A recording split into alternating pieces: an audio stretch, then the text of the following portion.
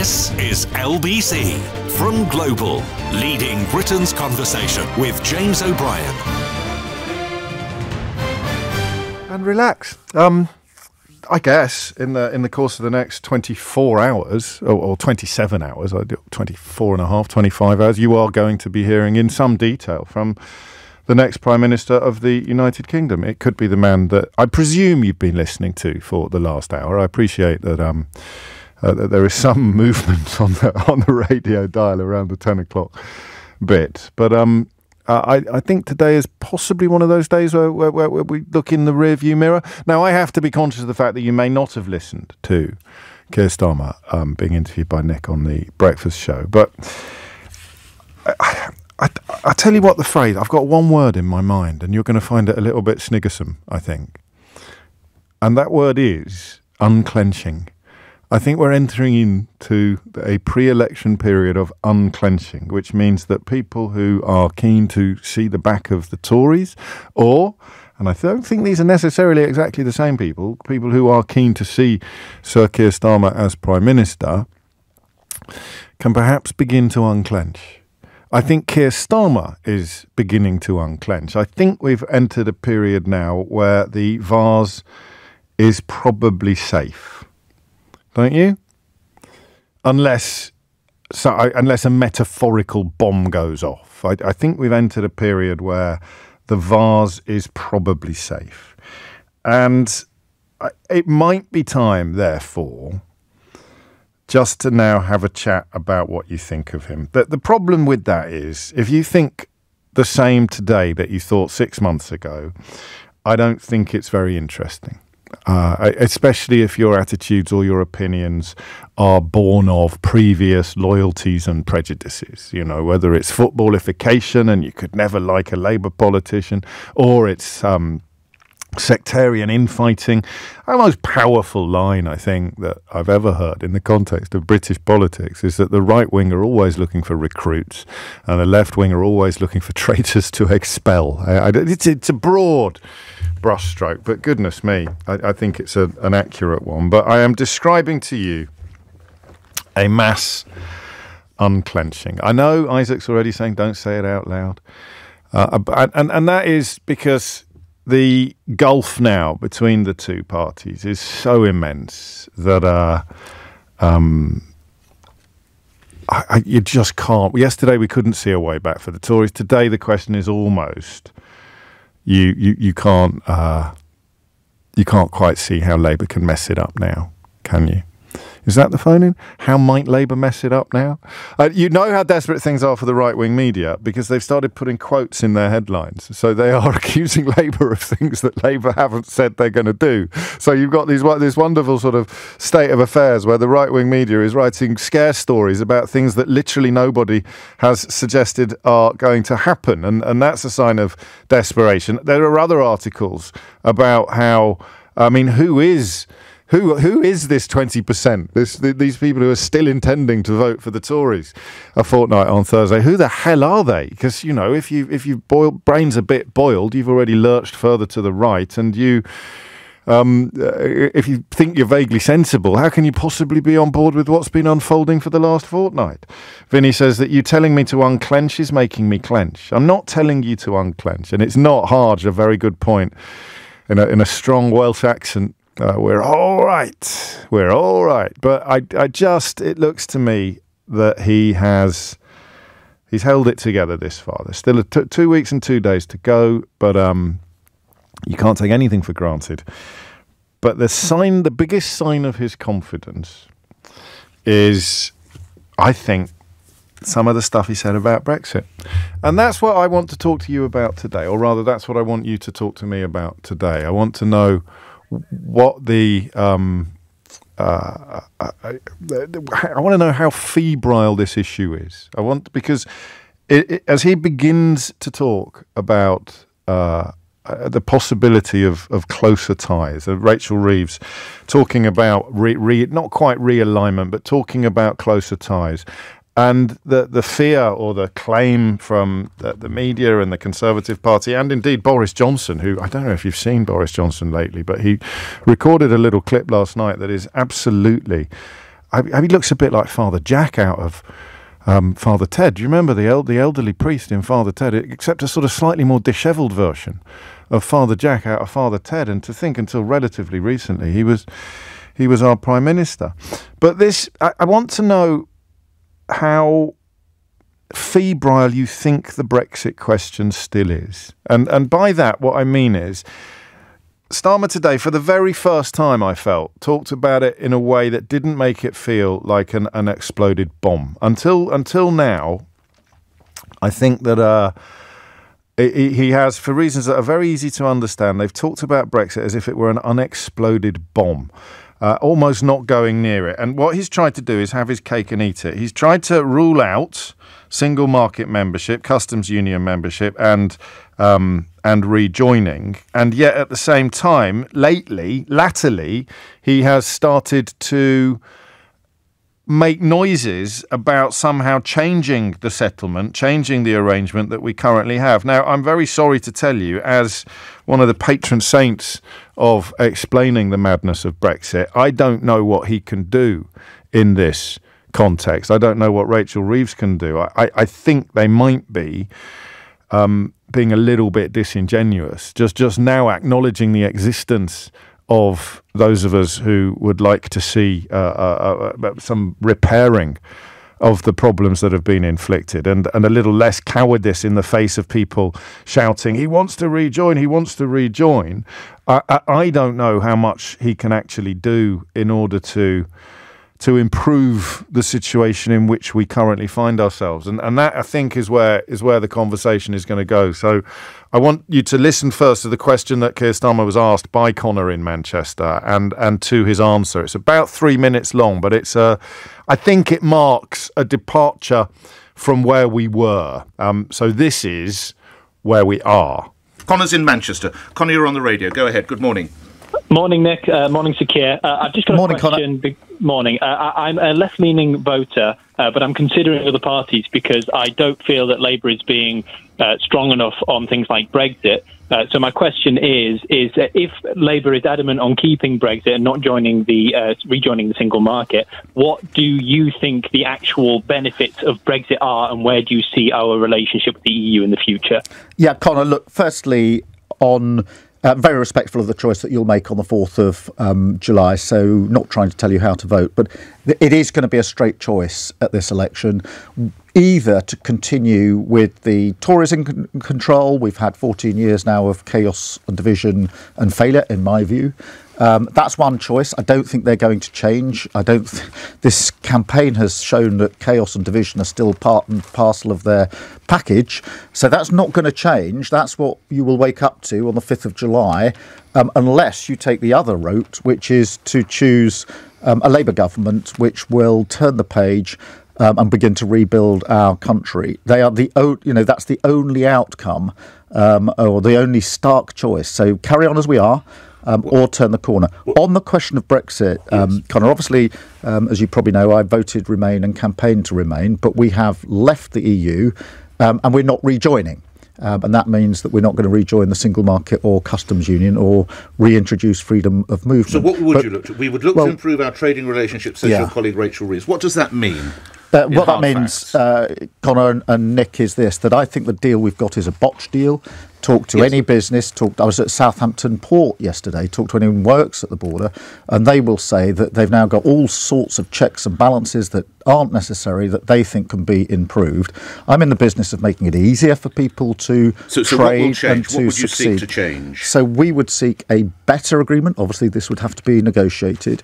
Um, better where, in what areas? Uh, in trade, so that it's easier for businesses. I want it to be better in things like research and development, and I want it to be better on security because I think post the Ukraine or during the Ukraine conflict, it's become clear that we can do more work. Um, with our EU partners when it comes to defence and security. I would also add to that list, Nick, um, the taking down of the vile gangs that are running the uh, trade, the vile trade of putting people in boats to go across the small boats to go across the channel. At the moment, if we, we don't have the wherewithal, if we're on a joint investigation, joint project with them for the UK to lead on it. And I think that we can do better than that. So those are the areas, Connor, where I genuinely think uh, we can make some real progress. Uh, but I'd say at the end, you know, when, when it comes to okay. the, the ballot, it, it is a straight choice, Connor.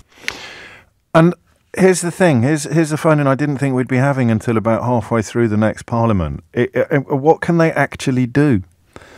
What what can Labour actually do that would constitute improvements to the mess that Boris Johnson and David Frost have left behind? Uh, 0345 973 is the number that you need to answer that question.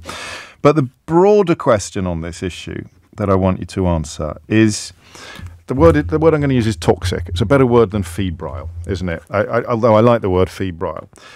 The, the Tory press, the Tory media, although oddly quite a few of the cheerleaders have now gone silent. Quite a lot of the people who sold you Brexit have now gone fairly silent about it. But people like Boris Johnson and Rishi Sunak still try and use it as a as a battering ram. They try and use it as a weapon with which to hit Keir Starmer. Keir Starmer keeps saying, "We will not rejoin the European Union. We will not join the single market. We will not join the customs union." And right wing politicians and some right wing media keep saying he wants to rejoin the European Union. He wants to rejoin the European Union. How toxic is that accusation now? Especially perhaps if you voted to leave. How, how toxic is the accusation that Keir Starmer wants to row back on Brexit. It's a, it's an accusation that Farage will make when he's not too busy trying to um, account for the number of Nazi sympathisers that seem to have ended up on his candidates list. But how how toxic is the accusation that Keir Starmer wants to row back on Brexit? 0345 6060973. And then on the other side of this conversation, the, the, the perhaps the weirdest bit, how how let down do people who want to row back on Brexit feel by feel about what he's saying? Uh, so I, I, I find this really frustrating at the moment because I recognise the necessity of caution. I don't think the toxicity is enough anymore to, to justify the level of caution that we're seeing. But I think he knows how little wiggle room he actually has in this area, how little difference, how little change he can actually make which is why when he says we're not going to join the single market, the customs union, or, or rejoin the European Union, he, he's, he's, he's not even making a policy decision. He's simply telling the truth about the current reality. And that's something that a hell of a lot of people like me are going to find very hard to swallow. And if you're in business, if your life, your family, never mind your, your livelihood, is still being affected by the madness of Brexit, I don't think Keir Starmer has got the answers to your questions. And I, and I don't know how big a deal that is. So I've got two big deal flavoured questions. Okay. The first is how toxic is the accusation that he wants to row back.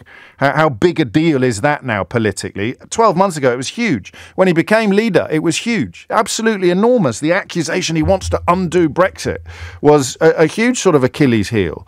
Now, I think it's probably almost a strength. So he wants to undo Brexit would be a vote winner, but of course, he can't.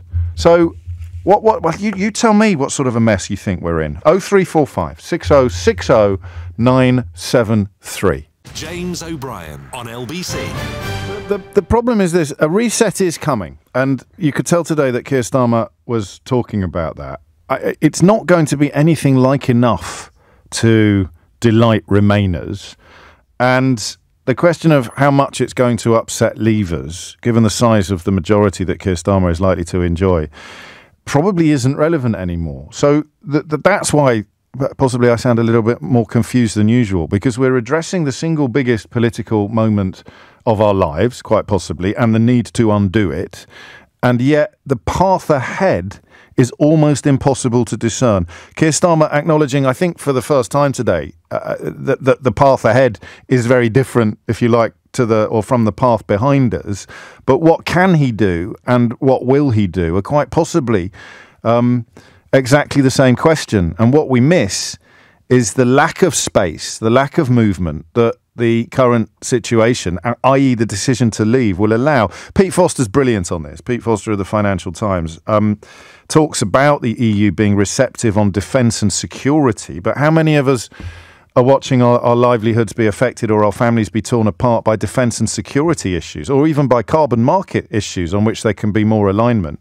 On the simple question of trade, free movement of goods, even if we have full alignment with the European Union, we will not have access.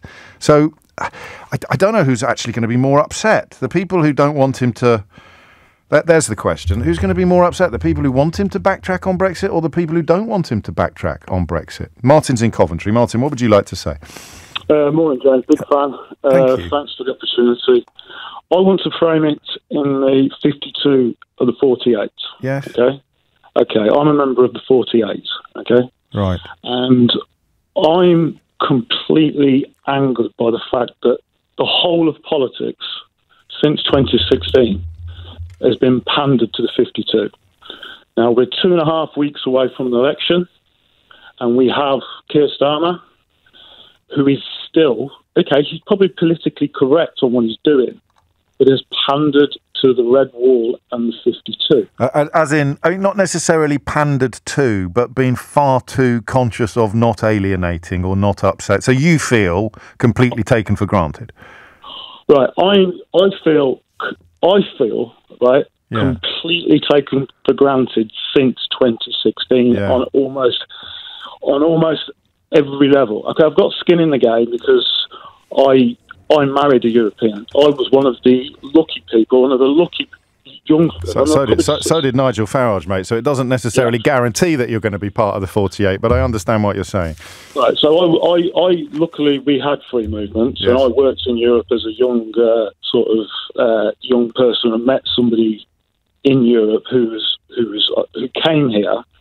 And I took my uh, my son. I've got, I, I also understand how difficult it's been for families because my yeah. son was born in Europe and came here, and we've since had difficulty with his passport and such. So even though he was completely educated here, there was one point after Brexit where he couldn't get a job because he couldn't prove he couldn't prove he was that he had an English passport, which is another thing. That, well, okay, so I've got skin in the game. Okay, but if you take that apart, since 2016, apart from your show and a few other let's call let's call you a client journalist on the other side. Yeah, you know, we talk about client journalists on, the other side. Well, I'm evidence based, mate. You're never going to hear me yes, claiming that Boris Johnson uh, yeah, Boris yeah. Johnson tells the truth, and I, I, am perfectly critical of Labour politicians as well. I know what you're saying. No, I know what you're saying. I think we need a better phrase, but but I'll live with the one that you've used for now. Okay, but I, I feel I feel I'm angry, and I feel completely taken for granted by by by, by Labour. I understand Labour's journey. I understand Keir Starmer has had to. I understand his political, his, his how how much he's politically had to move from Jeremy Corbyn. Where I understand with some of the flack that you've taken, I, I, I'm I'm completely on your page on that. What he's had to do to go to the centre, right? But we've now got if you if you think now we're at a pivotal moment where we're talking about the vase yeah. is now safe, you, in my opinion, the country, right, the country will not, but the country is in a mess unless it goes back in the single market. Okay, and, yeah. I think you can. I think you are right. I think, and, and, I think everybody who understands anything kind of knows that, including Keir Starmer and Rachel Reeves. But yes. I think you're, you're you're you're articulating what I'm trying to articulate, which is this slightly surreal sense of everybody knowing what you just said is true, and Keir Starmer being too frightened of saying it out loud still. So there's the question: When will he stop being frightened? Well, because you've got to, you've got to stand up to the 52. Now it's the same with immigration. It's the same argument with immigration. Okay, now, I've watched. Well, that, that, well, I mean, it is the yeah, same argument, but it's not. It's not necessarily on the time same time scale. When do you think he will, not should, but will, say out loud what we all know to be true with regard okay. to the single market. Okay, he's got he's got he's got one last chance for me now. He's not okay, going to do it before the election. You know that. No, he's not. So no, when he's not before the election, right? Let's just say he gets a majority. Let's not talk yeah. about that silly thing about the super thing that they're talking about. Let's say he, he gets a majority, right, and he gets a big majority. Okay, in my opinion, he has to move fast. Okay, right, because because the, the tanks of Farage will be on him almost immediately after that election. It's a Fisher Price tank, mate. I mean, I, I, know what you mean in terms, but remember the the, the the, whole Farage magnification thing only happens because we're in an election period. Um, uh, the the I, I, don't know. I don't, and that's the first thing. That's why this phone in is a little bit different from previous Brexit flavoured phone ins. Is that I'm I don't know. I, have I've known everything pretty much since 2016 about what was going to happen next. I've told you what was going to happen next. I explained to you what was possible and what wasn't possible. It's taken me 26 minutes to work this out, and I needed the the, the, the catalyst of, of Martin's contribution to work out why I feel so strange on this phone. We're having a phone in about Brexit where I don't know what's going to happen next. For the first time since the vote, I don't know what's going to happen next. At every single point of Brexit since that referendum result came in, uh, as soon as an event occurred, I could tell you with almost 100% accuracy what was going to happen next. I could tell you that, that, Le- that Theresa May would be essentially held hostage by the lunatic fringe of her own party, which would, of course, eventually take over. That the promise to deliver the unicorns would continue to work politically until the moment that they claimed they delivered the unicorns, i.e., they got Brexit done. Remember that Farage greeted Boris Johnson's Brexit deal with, with party poppers. He, he rolled out the red carpet, greased Boris Johnson's passage into Parliament, and heralded his Brexit deal. He said the war is over, it's done, we've won, and now he spends his whole life complaining about it. So I don't know what happens next. Maybe that's the only question I should have asked. What what does happen next? If stroke when Keir Starmer is in charge, what happens next? Josh is in Brussels. Josh, what would you like to say? Hello, James. Hello, How are you? Very well, mate. Good, good, good. My annual call to you. I, well, I'm very so, uh, grateful. I'll check the calendar. So, what, I mean, a question has, has, has, moved slightly, but you can you can answer either the yeah. one that we were asking before or the one that we're asking now. I'll try and do both. Mm. So, from a perspective of a Brit who lives in uh, the EU, yes, um, I think the road back. I, I think Keir Starmer's made one mistake, one which may be very costly. Not now. I think he'll secure the election quite easily, but I think what he hasn't anticipated is that, as you said at the very top of your show, that he hasn't anticipated that the people have seemed to have moved back to realizing their mistake. Yeah. And the problem is, he's not prepared to, to actually verbalize that and say, leaving the European Union, or even in the case it's of saying slightly glitchy phone line. I don't know why, but um, it, it, I just I'll, I'll, bear with you for a minute. But if it gets any worse, we might have to re recalibrate. Carry on. Okay. I'll, stand. I'll stand stand and stop. I'll stand. It's not you. It's, it's, it's something on the line. It sounds like the. It sounds like there's water on the wire or something like that. But but crack on for now with with that warning in place. No, we'll try. We'll try and fix that. It's coming out to half past ten. You're listening to James O'Brien on LBC. We'll come back to Josh. I think after the news.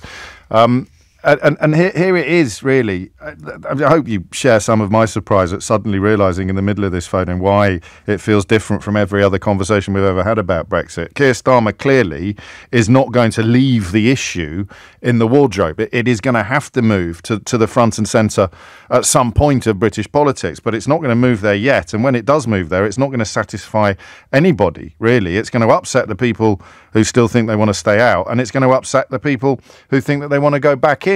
So, for the first time, I won't labour this point because it sounds a bit conceited. For the first time since 2016, I've got no idea what happens next which means it's time to ask you what you think is going to happen next. A lot of support for the first caller's claim that sort of 48% of the population has been completely ignored. I, I, I don't agree with that entirely. I think the result had to be respected. I didn't think that immediately. I, I, think I was wrong about the second referendum. I think people had to see the reality of what they had ushered in. Even if the people who ushered it in would deny that it was their fault, the people who voted for it had to see it. But they have now, and it's only going to get worse. So, what happens next? It's half past ten, and Thomas Watts has your headlines. Sir Keir Starmer has refused to rule out allowing a council tax rise under a Labour government. The party leader, who's been taking part in an exclusive phone in, has also committed to seeking a better Brexit deal. Rishi Sunak will be here to take calls from LBC listeners tomorrow morning. President Putin has promised to support North Korea to defend its interests. The Russian president has arrived in Pyongyang for his first trip to the country in 24 years. At least 11 people have died and more than 60 others are missing after two boats sank off southern Italy. Officials say they were carrying migrants who'd set off from Libya and Turkey. LBC weather dry with sunny spells for many. Some showers in Scotland and across parts of central and northern England. A high of 22 degrees. This is LBC.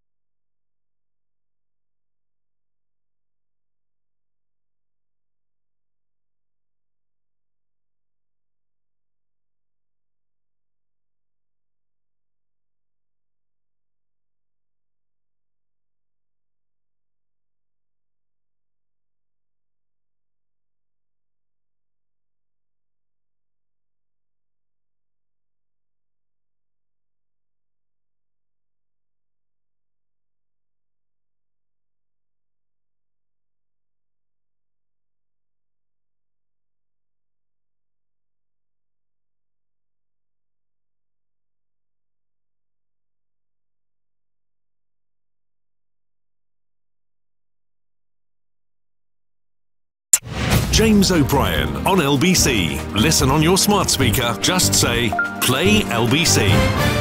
I think I lied, uh, or, at least I think I was being a bit optimistic when I said that I'd, I'd stop being so self referential because I'm having a bit of a career crisis in the studio this morning. I've, I've suddenly realised this is the day on which I cease to be James O'Brexit. I, I, I, surrender my crown as the king of the Remainers because my entire coverage of this topic has been based upon the fact that, that we've been right about everything. We've known what was going to happen next, including the, the, the capture of the Tory party by Farageist fantasy politics, which is, which is underway apace at the moment. It's all in my book. But today, I've no idea what happens next. I've no idea what happens next. And, and I think people who are on my side of the argument are in for much bigger disappointments than they realise. You think now, as the, as the ship begins to turn around, and as the man who led calls for a second referendum, possibly um, or probably gets into Downing Street, you think that the, the, the, the, sort of road back to sanity is clear, but it's really not. Because, A, they don't particularly want us at the moment, not while it has any um, uh, febrile connotations at all. The European Union is only going to really throw open the gates when it is no longer a controversial issue in this country. And, and you've got the great unflushable still polluting British politics at the moment, which means this isn't going to go away as a, as a febrile topic. People who believe nonsense are still going to be able to exert um, influence on, on the political landscape. And Keir Starmer is not going to be able to do much. I mean, outside of some carbon policies and, and, and possibly some veterinary legislation that would need law, he's not going to be able to do much. You don't you don't get access from alignment. The four freedoms. Oh, sounding like the old me now, where I know what I'm talking about. But the four freedoms are indivisible. So even if you agree to sign up to all EU regulation on trade, they'll still have to do checks. The, the four freedoms are not indivisible. So what the hell happens next? Let's go back to Brussels on a better line. Josh is there. Josh, where were we? Hi, James. Can you hear me clearly? That's now? much better now. Fill your boots. Perfect. So I think the road back is far more treacherous than the road out, as they say. So yes. what what I think is going to happen is is that I think the key to what's going to happen as to how quickly Keir Starmer can move towards move going back into the EU is dependent upon what happens, believe it or not, in the Tory party and the, the reform uh, Fisher Price tank man. Mm. Because I think he would love to move faster, but he made a mistake, in my opinion, when he initially outlined years ago that he wouldn't join the single market and customs union. No, that, no, that wasn't that, a mistake. It wasn't a mistake. It was necessary at the time, and now it now it feels like an albatross around his neck or a millstone around his neck. But it was completely necessary at the time. It was, but because he was trying to outflank uh, Boris Johnson. It was, try- it was, try- it was uh, not even outflank. He was just trying to take a weapon out of his hand. I think of all the things he's good at, that's what he's best at: is is, is taking weapons out of yeah. his opponent's hands. I, I agree with that, but the problem here is is that any if he wants to show an improvement in terms of getting growth and all the other things he's been talking about in this election, the problem is he's not got much wiggle room to do it. No, and and that, that therein lies the problem. So I think that the British people, those the fifty two percent who have basically very gone very quiet, mm. have you mm. noticed? And and they, and they, those who've been waving their pom poms in the media. They've gone very quiet on Brexit because there are no benefits. But I also feel at the time that Brexit had to be materially felt by the people before they would realize what the importance of being in the EU was. And I think people's pockets are lighter, their food bills are heavier, and they can't move goods around. They're having to use their blue passports and join long queues. And it had to be materially felt by the people. So the question then becomes, in my mind, mm. how does Keir Starmer, how does he tell the people you are wrong about what you did? You, you were and wrong. that is his difficulty. Yeah, you, you were, were, wrong. Sorry, yeah. Yeah, which he, which he was do doing up until 2019. He was doing it all the time, but but of course when he became but, leader, he stopped. Yeah, but Brexit hadn't been materially felt in people's everyday lives. So now can you answer is. that question? Uh, I think because I can't. This is can... why I'm in such. This is such an unfamiliar position for me to be in on a Brexit phone-in. Is I, I really don't know whether I'm coming or going. I think you're being a bit. I think you're being too kind to yourself. I think you have some ideas. I don't. my, my, my no, really. No. Okay. Well, my maybe. I mean, like, I could say something glib, like it. I think it will be an issue in the 2029 election. But I mean, what does that even mean? I, I think it's going to be far quicker than that, James. I think the pressure, I think what, my, my own personal view on it is that I think what happens with the Tory party, if there is a kind of one nation that comes out of it and the rest of the rump of the right wingers go with reform, yeah. I have a strange feeling that the Conservative Party is going to change tack and they're going to say we need to be in the single market oh, and the customs on. union. That would be madness. Oh, I'm telling you. I know, I know. Well, listen, this is the thing, though. When everything's up, when it's up, listen, if I don't know whether I'm coming or going, then everything's up for grabs, and that that makes sense. If if if yeah. the you know, and of course, one way that Starmer might be able to, if if there is an, a, a sort of substantive threat from from Farage, and and history teaches us that being catnip for Nazis and fascists doesn't damage his popularity among his base. Um, then then maybe what you do is is you remind everybody of his responsibility for, for, for Brexit, which somehow you, most journalists are, are ducking at the moment, not reminding him that he's the man who lied loudest and longest about it and cheered Boris Johnson all the way into Downing Street and hailed his so-called deal as um, the promised land. They did. But the problem with those journalists that are accommodating Nigel Farage without actually taking him to task for what he has done. Good Morning Britain Kingdom, did a good job this morning. Good Morning Britain did they, good. Ed Balls and Susanna Reid. They did, but they need to be much more say, well, look, this is what they need to be material with the facts. Remember those? Mm. What they need to do is say, look, these are the facts. Brexit hasn't worked. Are you? Even he said it. Yeah. He said Farage said Brexit hasn't worked and the, he's come up with some nonsense about the wrong type of Brexit. Goes to a different it's school. rubbish. And, and I don't think if you have the same argument again, I think he's going to find it a lot harder because one, those journalists who have who have been avoiding asking him those questions are going to come under increasing scrutiny. And Farage, if he does make it to Parliament, I hope not, he's going to be in, under intense scrutiny to answer those questions about what his form of Brexit is. Reality. Would, uh, I mean, yeah. always confi- confine him to the realm of reality, and uh, he'll fall apart quicker than a cheap suit. That, that, that's always been true, but for reasons that I don't I don't fully understand and, and I don't want to explore. Unduly, very, very, very few people have managed to confine him to the realm of reality. And it, it, it, one thing I can say with some confidence is that it's really not that hard.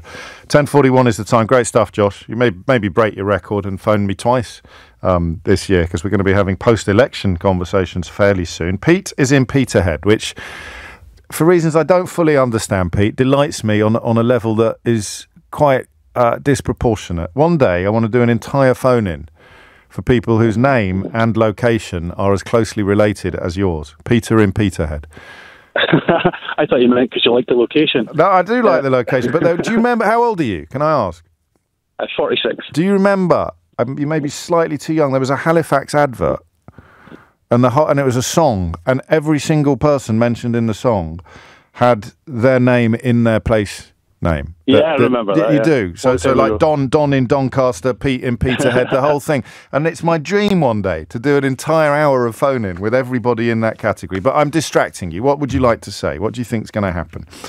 Uh, okay. Um, so uh, basically, what I thought was that um, you know the, the, turnout for the Brexit referendum was pretty low, mm. uh, and the people who didn't vote. I mean, the probably what I think probably happened is that nobody actually thought it was going to happen in the first place, so didn't even bother go out and voting. But the crazies who wanted to vote for Brexit didn't actually go out and vote. Yes, and that's why that's why we ended up with. Uh, oh, that was a large part of it, but but but I mean, yeah. that, you know, that ship has sailed. So uh, yeah, yeah, the totally. turnout was over seventy percent, actually, Pete. I don't, I don't know if that counts as low. I think that's quite quite high. But but anyway, what what's going to happen next? Um, well, you know, it's it's uh, it's all well and good. Uh, Keir Starmer sitting saying that uh, he's going to, you know, negotiate a new deal yeah. and everything. That's fair enough. I hope he does because it'll benefit everyone. But as far as a, a second Brexit referendum goes, that that'll never happen. That's never going to happen. And in which uh, case, in which case, none of the the the, the, the really meaningful improvement, single market customs union, that, that they're never going to happen either. Yeah, yeah, because uh, obviously it, it, would have to be put to a vote because it would be changing everything that Brexit stood for. Yeah, that's true. Uh, even though it was lies.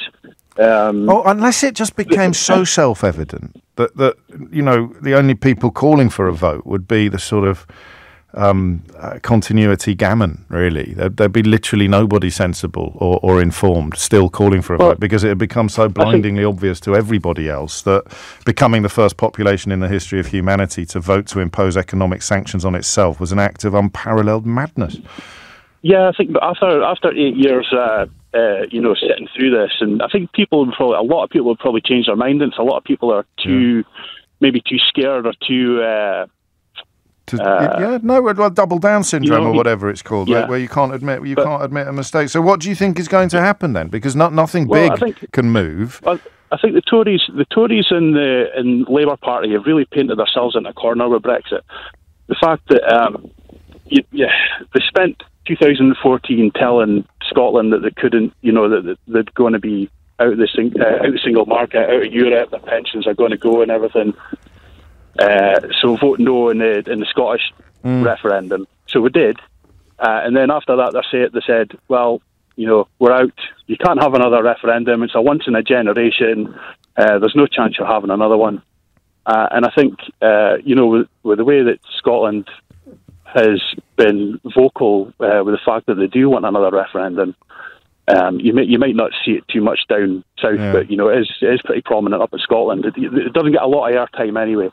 But I think if they if they turned around and said, right, we're going to have another Brexit referendum, things would go absolutely nuts in Scotland because you know we've been denied you, another you, vote oh, for years. Crikey, yeah, it is it is a wrinkle. Yeah. Although, albeit that it gives Scotland the chance to um, uh, get what it voted for in 2016, even, even if it's not what it voted for in the in the independence referendum. I, the, the crucial point, I think I've identified the elephant in the room.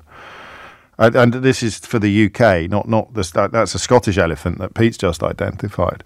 But the the elephant in the room is that alignment, which you can do without negotiation, you can just agree to do it doesn't deliver access. You cannot unilaterally align your way out of post Brexit border checks. So whether you're talking about chemicals or, or, or, or sausages, even if you make it law for every UK company to abide by EU regulations, you will still need paperwork at the border. You will still need to demonstrate compliance at the border because alignment is well, you cannot align your way out of post Brexit border checks. And that's why I'm on this unfamiliar tip this morning of not knowing how this shakes down. So I know what the facts are, but I don't know how.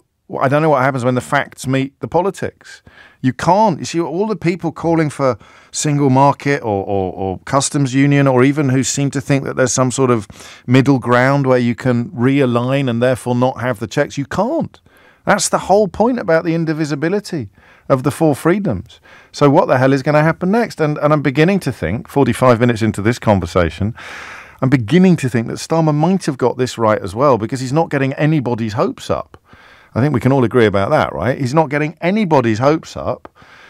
And in fact, the people who want less Brexit is are probably poised to be more upset in the coming years than the people who want more Brexit.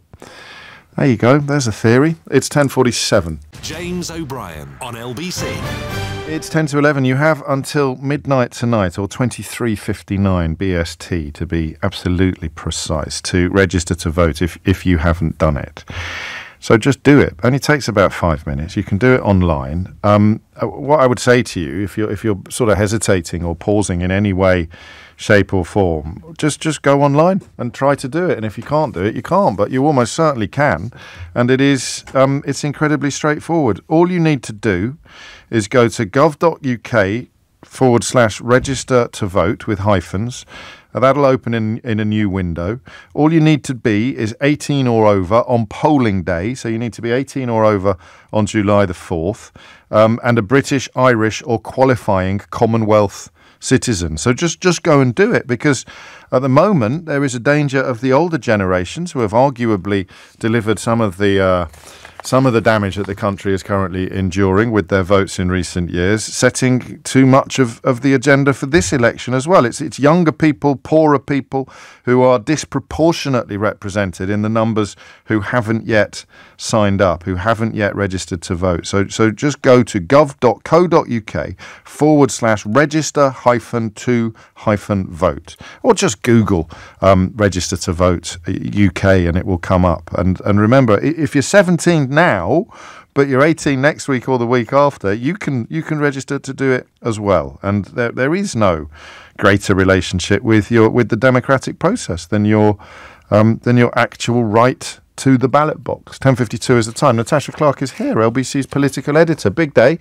today and tomorrow with Keir Starmer and Rishi Sunak both taking calls and, and properly taking calls. A full hour doing doing doing it properly. I'm not sure uh, anyone else is getting that sort of level of access. What, what, what were the big takeaways from Keir Starmer's appearance this morning? I think my main big takeaway is just how calm he seemed today. Mm. He seemed very uh, confident in what he was saying. He didn't have any stumbles. He didn't trip over anything. He didn't even have, uh, as far as I could see, any notes beside him when he was sitting, in fact, in this chair mm. a couple of half an hour ago. He did just seemed like a man that genuinely felt like he was, he had it all together. Um, he had all of his answers. He obviously faced some really tough questions, including some I imagine that he wouldn't have expected. Things like the Northern Ireland Legacy Act. He was mm. challenged by a veteran saying you're going to open up a witch hunt for, for my uh, fellow veterans once again. He wouldn't have been prepared for that answer, but he did uh, have answers for everything. And obviously, that he, is. It would have been DPP when some of this was it, put in place, though. So I mean, exactly, it, it's a it's an unexpected uh, uh, uh, curveball, but not necessarily one he wouldn't no. be able to play. And after you know so long on the campaign trail, we've had you know three and a half weeks of this campaign now. I imagine he has been thrown nearly every single question mm. he potentially is going to get thrown, and obviously our job is to try and get some callers to ask him something a little bit different,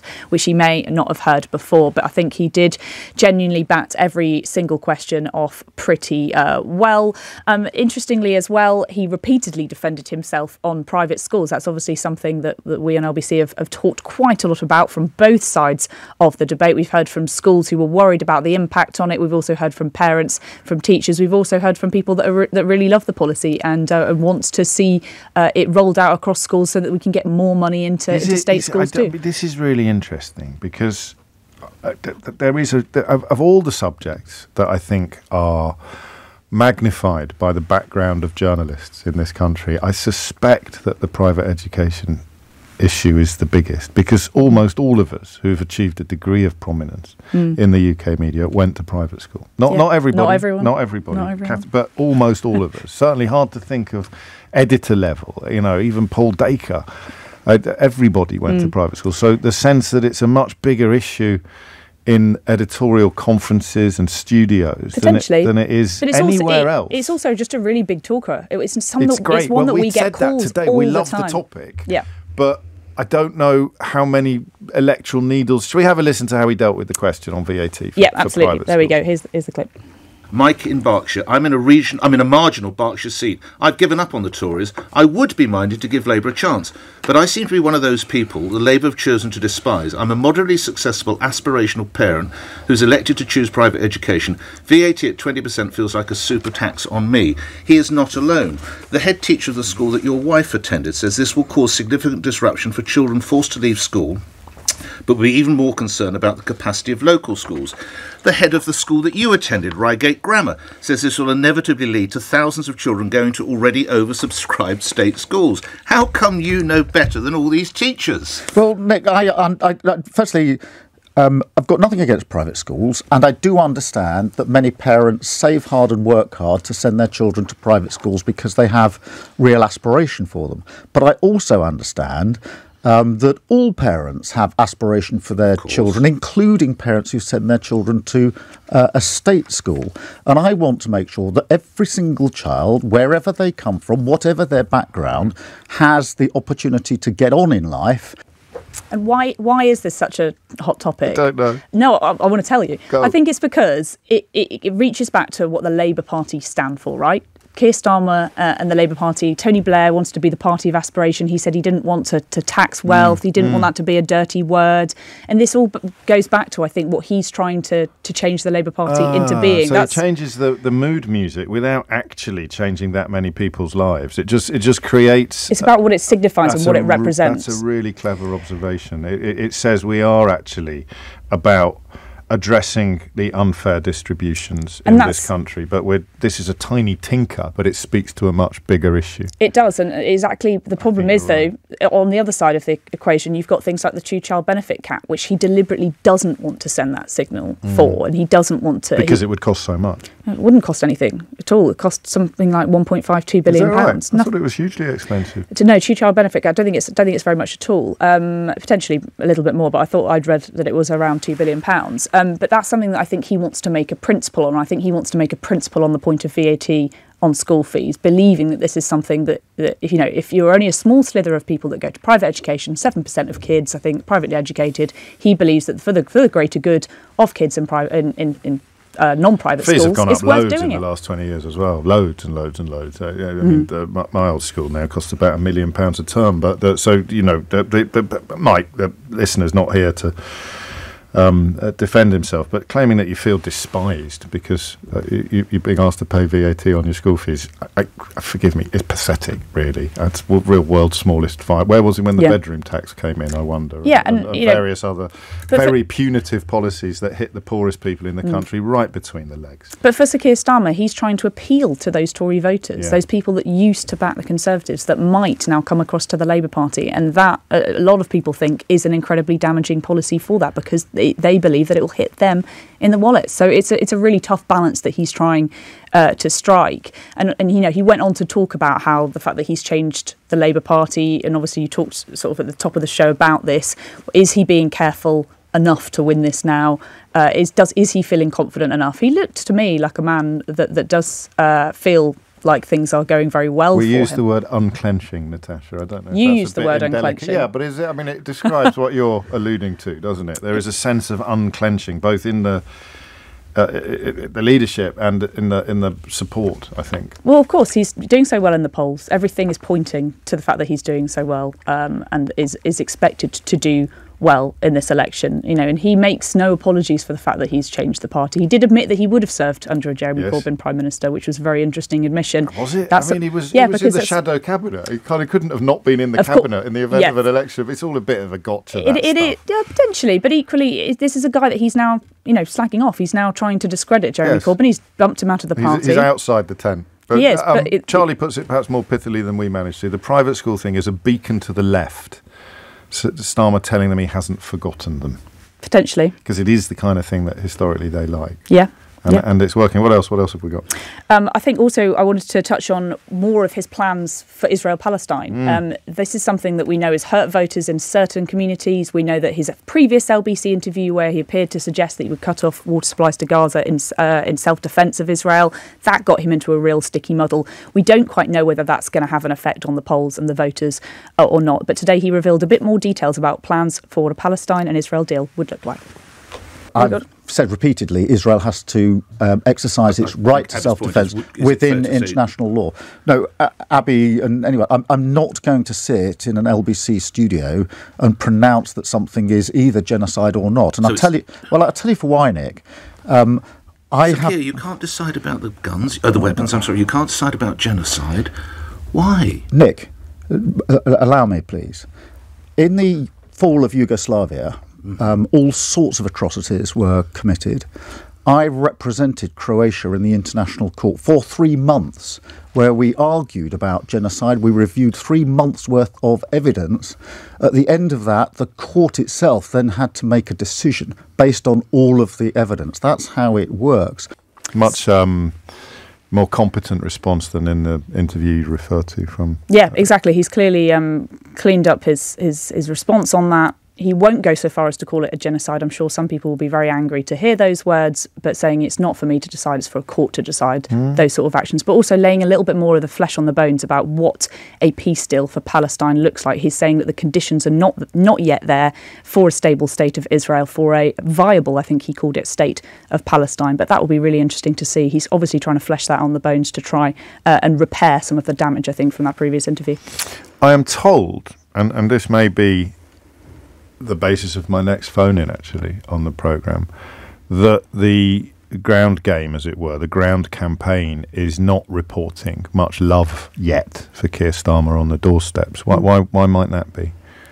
Uh, as we were sort of discussing off air, is it because Keir Starmer is being honest with what he can promise the voters? He's not. He's not making. He's not making inflated. big outlandish promises. He's not making Nigel Farage-esque claims about the amount of money that we've got to spend. He's being very honest. The finances are very tight. He you know said repeatedly he doesn't have a magic wand and he can't sell you the earth. Um, and he's trying to be honest about it. Maybe. I, I, mean, Sunak could possibly fit into that category as well. He definitely potentially did. Obviously, during the last Tory doors, leadership, but he's, but he's, he's swerved, he's swerved a bit since. And and I, that I think that's a really good. Um, I think that's a really good analysis, and it's a really interesting question, isn't it? Can we remember? I, you're too young. I, wasn't paying attention in 1997. But did, did, did Tony Blair enjoy messianic status among voters, even as his opinion poll leads were, were this sort of size? Well, actually, there was a book that I think one, a fellow journalist was tweeting an extract mm. from a couple of weeks uh, ago, saying that even in 1997, the media, the polls are saying yeah. exactly the same thing. No one's enthused about uh, Tony Blair. You know, he's not quite the same. He's not got the same cell rewrites history, isn't it? Exactly, I, mean, but everybody the, thinks yeah. now that he is uh, absolutely the answer. That, well, partly the scenes on Downing Street that night, and, and also I think D:Ream have a lot to answer for. They do. I think that things can only get better. Anthem is part of our collective memory, whereas in fact at the time maybe there wasn't much love for for Tony Blair on the doorsteps. Um, Natasha Clark, many thanks indeed. Uh, Rishi Sunak in the in the in the chair. He'll be in tomorrow. the hot seat tomorrow. Hold on to your hats. It's three minutes after 11. James O'Brien on LBC. Seven minutes after 11. So we'll have a Starmerama phone in now. But in the, in the final hour of the programme, either we're going to look at why conversations about private education obsess all corners of this country so much when the issue affects such a small amount of people, or we will look at the question of why so many Nazi and fascist sympathisers are historically drawn to whatever organisation Nigel Farage is, is leading at the time. I don't know if you've seen the latest story, but when you've got a headline that says Reform candidate defends his comments about Hitler, um, and that's two, I think, in a week then you anyway you, have potentially got a little bit of a problem. Um, I am told. So I, am going to tell you something I don't know that you are fully clear about. And and it, it, sometimes when I say I'm not criticising anybody else, I, I, I, mean it. On this occasion, I am actually criticising other people. I'm, I'm not going to name any, but I don't think that people who do what I do for a living should hang out with politicians. I don't even think we should go out for lunch with them, regardless of what party they're from or regardless of what um, uh, background there may be, or, or, possibly, I guess, if, if it's the only way you can get people to appear on your program, then I, would have to wind my neck in a bit because we, have managed to create a program that doesn't need politicians to appear on it, and, and I much prefer it that way. I, I genuinely would much rather talk to you every morning than to whichever minister has been put up to, to, to, to do the sort of studio rounds. But I really don't think we should socialise. I, I, I, don't think that politicians should should socialise with journalists. And this puts me in a really stupid place because they do little else. You know, the, the, the House of Commons is full of bars and restaurants where journalists and politicians are constantly socialising. It, it, it's different if you're reporting political news. So for Natasha not to socialise with politicians would be bloody ridiculous. But for those of us who've been lucky enough to achieve a status or to get a job where you're commenting on the politics without actually having to uh, butter anybody up in the hope of getting a story for Saturday's paper or in the hope of getting an exclusive for your uh, for your radio station or your TV station. I honestly don't think that any of us should be socializing with these people, going to their party. I was invited to Downing Street recently for, for a charity event uh, of a charity that I actually support. But I thought I can't go number one, who am I going to bump into? I just don't think it's appropriate for people whose job is to comment on the news, to political news, to be chummy with politicians. So when people say to me things like, "Oh, you're a big uh, Keir Starmer fan, aren't you?" I, I kind of go, "Well, listen, I'm optimistic about the future, but I have no personal relationship with the man. I've interviewed him on stage, uh, but you know, I spent pretty much the same amount of time with him as you did if you were sitting in the audience or if you've listened to the podcast. I don't think that we should do that. And and it may put me it may listen, I may be wrong. Yeah, Sadiq Khan comes into the studio once a month. I'm doing a gig with him on Thursday night. Um, which I agreed to before I checked the football schedule.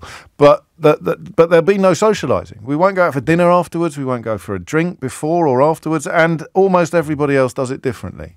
And that's fine. But I think it's wrong. I don't think we should socialise with politicians because when the time comes to give them a kicking, I don't think you'll kick them as hard if you have got a little bit of history together, a little bit of legacy. And there's no point us being here if we are not prepared to kick them as hard as possible as and when they deserve it. I just, I just thought that, that that was quite important to stress because the conversation I'm going to have next hinges upon some contact that I have with somebody who works or has worked in the past on on big campaigns, on general election campaigns, and, and is quite close even now, even though they're out of the game, quite still quite close to, to the Labour High Command. And they tell me that there is still no love for Keir Starmer on the doorsteps.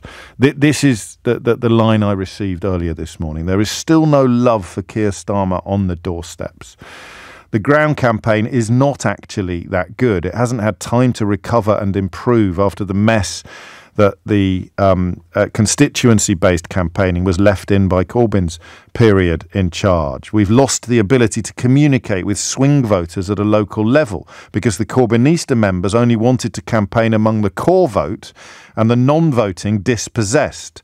So local activists have spent many years recently chasing the mad left out of local parties instead of campaigning towards voters.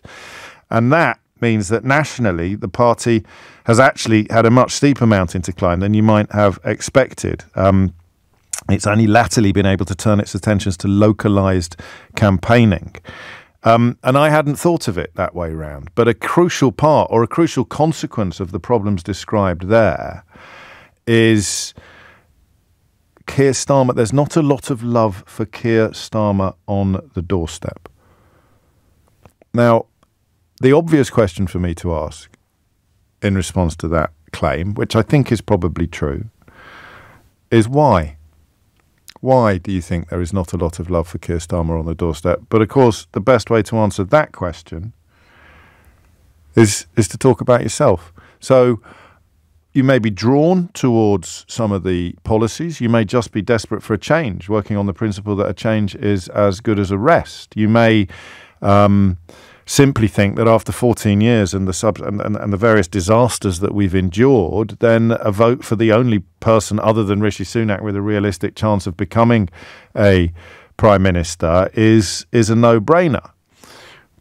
But I I would have thought, given the poll leads, you would have thought, and listen, Keir Starmer's personal polling is going up, but there's not a lot of love for him on the doorstep. And I want you to tell me why you think that is. Hit, hit the numbers now, you will get through. And remember, this is a, a grown up programme. So some of the reasons we come up with for why there's not a lot of love for Keir Starmer on the doorstep may actually cast Keir Starmer in a positive light. The thing about personal approval ratings is that the most popular politician is often the most disliked. The most liked politician is often the most disliked because people like being lied to. People like being made promises that can't be kept. People love having their own prejudices and bigotries endorsed and amplified by public figures. Donald Trump's entire political popularity is based on essentially a, blend of authoritarianism and racism. So people who like authoritarianism and racism hate um, uh, democracy in its current form. They hate election results. They love Donald Trump. We've got our own little pound shop versions here. And you'll see in the personal popularity polling that the most liked politicians are often the most disliked. People say that they're like Marmite, but that's an unhelpful phrase because Marmite doesn't turn up at your breakfast table promising you that if you could just get rid of all the foreigners, you'll be rich by tea time. And Marmite doesn't lie to you. So when people talk about Marmite politicians, they're missing the point that liars prosper because people like the lies. So Starmer and to a lesser extent Sunak are never going to be those kind of politicians. Johnson was probably a good example of someone. I can't remember the numbers off the top of my head.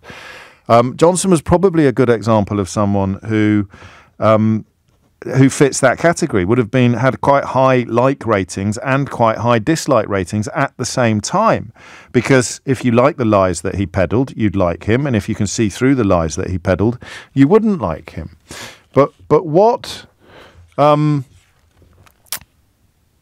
what explains for you the lack of well we'll use the word love or, or high levels of enthusiasm for Keir Starmer personally 0345 6060 973. And remember, it has to be an answer that accommodates the size of the poll lead. So, uh, although I want personal answers to the question, I don't want them to be too personal. I don't like him because yada, yada, yada. You, you, you have to explain how the popularity in the polls for the party that he leads is.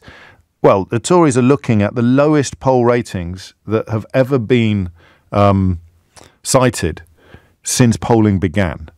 And some of the responsibility for that has to be down to the Labour Party. So the popularity of Labour in the polls is, is off the charts. The lead now is extraordinary.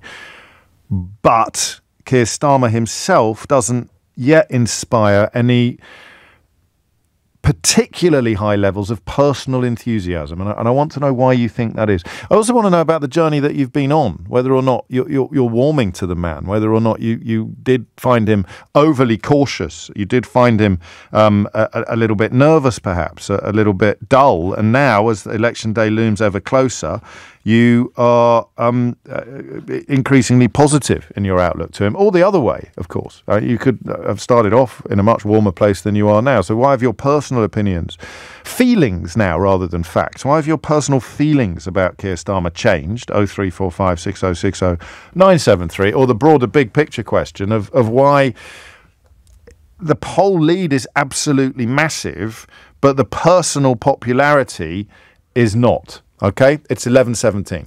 James O'Brien on LBC.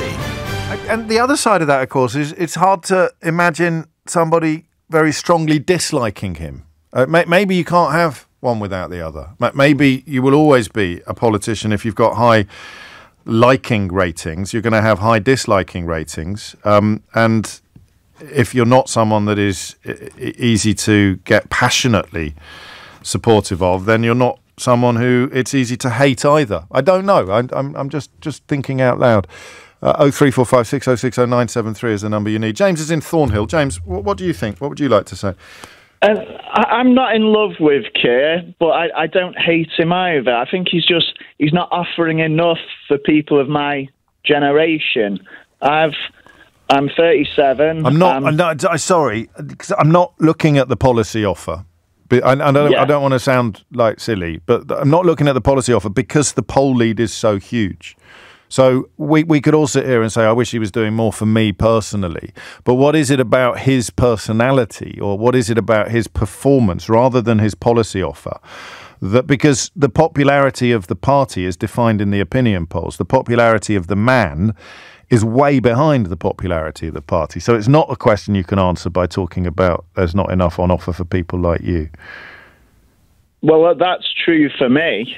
Yeah, but you wouldn't. Speaking. So, yeah, but you'd like the policy offer more. The man would be exactly the same if they changed the policy. So, what is it about the man that explains the ratings? I, I think he's just a bit bland, to be honest. Yeah. I don't know. It keeps coming up. What does he stand for? What is he going to actually do when he's given the levers of power. He's looking at a huge majority. What's he going to do with that? That's the that's the question for me. Right. What what is this man going to do for the country? But the manifesto was, I mean, there was quite a lot in it, James.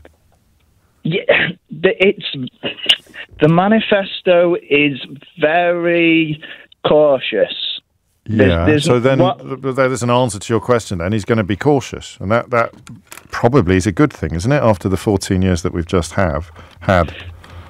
Well, I would argue not. No. no. Okay. I, I, I think it, it's tinkering around the edges, and and I'm looking for something that's going to really kickstart this country and, and do something for us. I think this is why you're seeing more people um, you know, sort of begrudgingly voting Labour, but also people looking at parties like Reform worryingly. But we saw yesterday, I mean, they're not even pretending that their claims are costed. Yeah. Ex- exactly, and so that, this is this is. I think you've nailed it in a way because Starmer is dull. Um, you know, uh, the, the, the manifesto explains how they think they will raise eight billion pounds, that they want to build three hundred thousand houses a year, which I think is a Tory pledge as well, or the Tory pledge might be slightly higher. It, it, but if you're going to show you're working, and they've all been, they've both been criticised mm. for for not necessarily having proved that their workings will work. If you're going to show you're working, then you're going to be dull. If you're going to promise people the earth without having to explain where the money is going to come from, then you can be exciting. So uh, you want someone more exciting, but exciting, I think, this is why I referenced the last 14 years, exciting usually means fantasy. I, I, would like to see something akin to the ambition that we've seen after the Second World War. So I think that's the crisis mm, we are facing. We're facing people who struggle between heating and eating. You yeah. know, th- this is real life. You, I see it on your program day yeah. after day. People are really struggling. I do a fairly middle class, well paid job, and I'm struggling, and I see people in my community struggling. And I think we want to see ambition. And I think some, a lot of people I speak to will vote Labour, but begrudgingly. Yeah, I think no, people well, almost cautiously. Will get tired of it very quickly. Unless he delivers, uh, and and I don't know that you've heard from him an acknowledgement of some of the, the, the stuff that you're referring to. The story yesterday about teachers and doctors having to step in where once the the, the, the, the, the state structure would have helped, the damage that austerity has done to the country. He talks about it.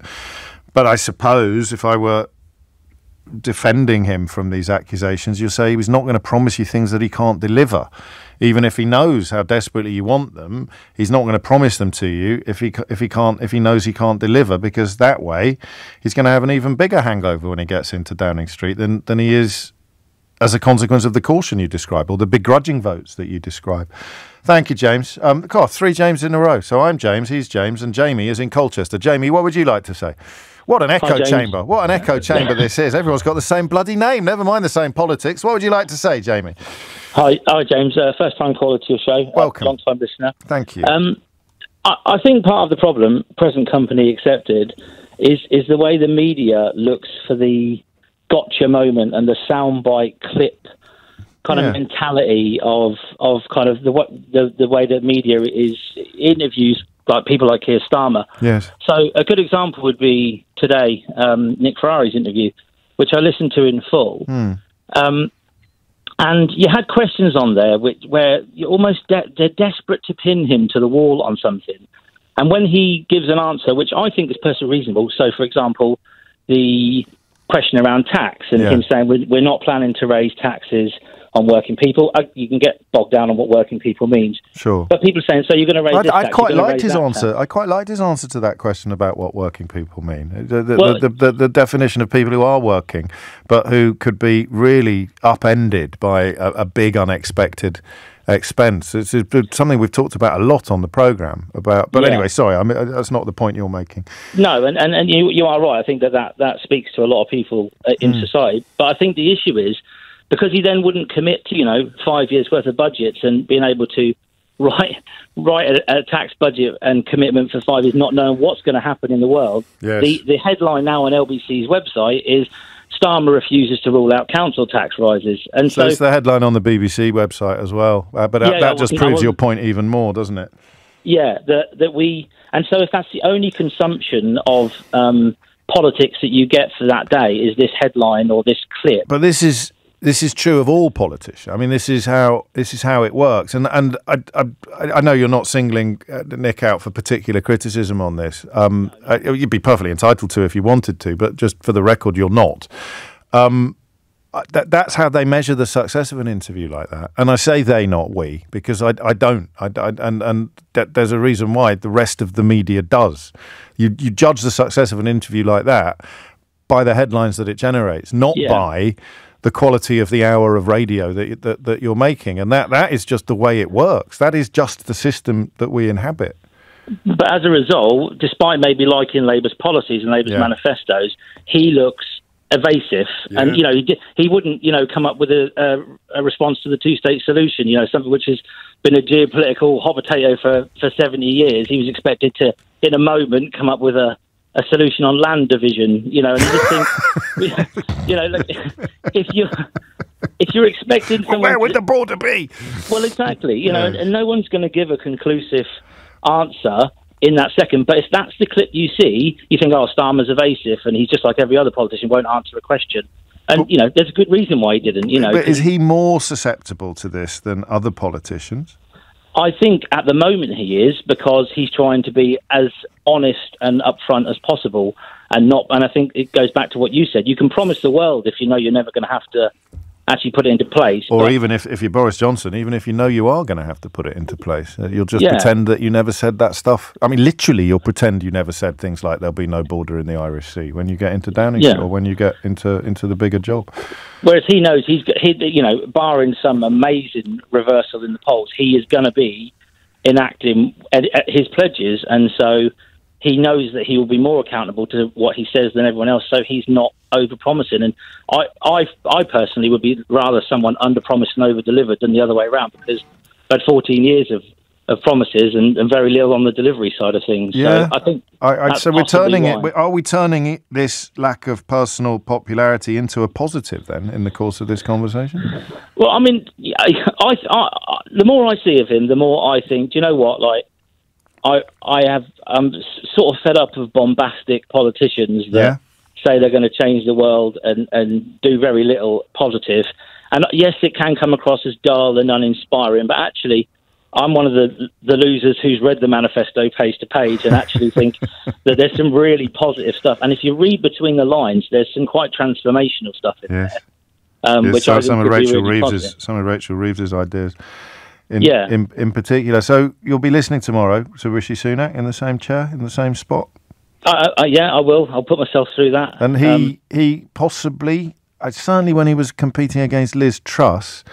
Some of the things that you've just said about Keir Starmer could have applied to Rishi Sunak. Less so since, but but certainly on her economic plans, he he he, he was doing the whatever the antidote is to fantasy politics. He he was doing that. So it'll be interesting to hear how he gets on in in, in the same sort of context, in the same. uh, and if we can get through five minutes without mentioning the two thousand pound tax uh, rise thing, that'll be because that'll that be really undoes it all, doesn't it? Uh, Yeah, that- that- absolutely. in- in a way, that's that's Brexit. That's Yeah. Michael Gove saying we should keep hitting the two thousand pound tax claim because look how well the three hundred and fifty million pound lie on the side of the bus worked. Yeah, And that's not Starmer. Starmer isn't doing that sort of thing. For, I mean, for good or for ill. Charisma. I'd lot, lot of love for you coming in, Jamie. Actually, yeah, like Jamie said, says Kirsty. Debbie says Jamie's a brilliant caller. So unless you've got like several burner phones on the go and you're pinging praise for yourself into the program, which I can't criticise you for, that would be a bit pot kettle. Um, and you, you, you, yeah, and I like that. That that there is some, and listen, this isn't a criticism of people. If I was interviewing politicians, I wouldn't get headlines. I think I'd make really good radio and you'd learn a lot about the politician in the studio, but I wouldn't be trying to sort of trip them up on the price of a loaf of bread or something like that because I want to know more about the person in front of me, which is why I love doing full disclosure. But full disclosure never makes headlines, or very, very rarely.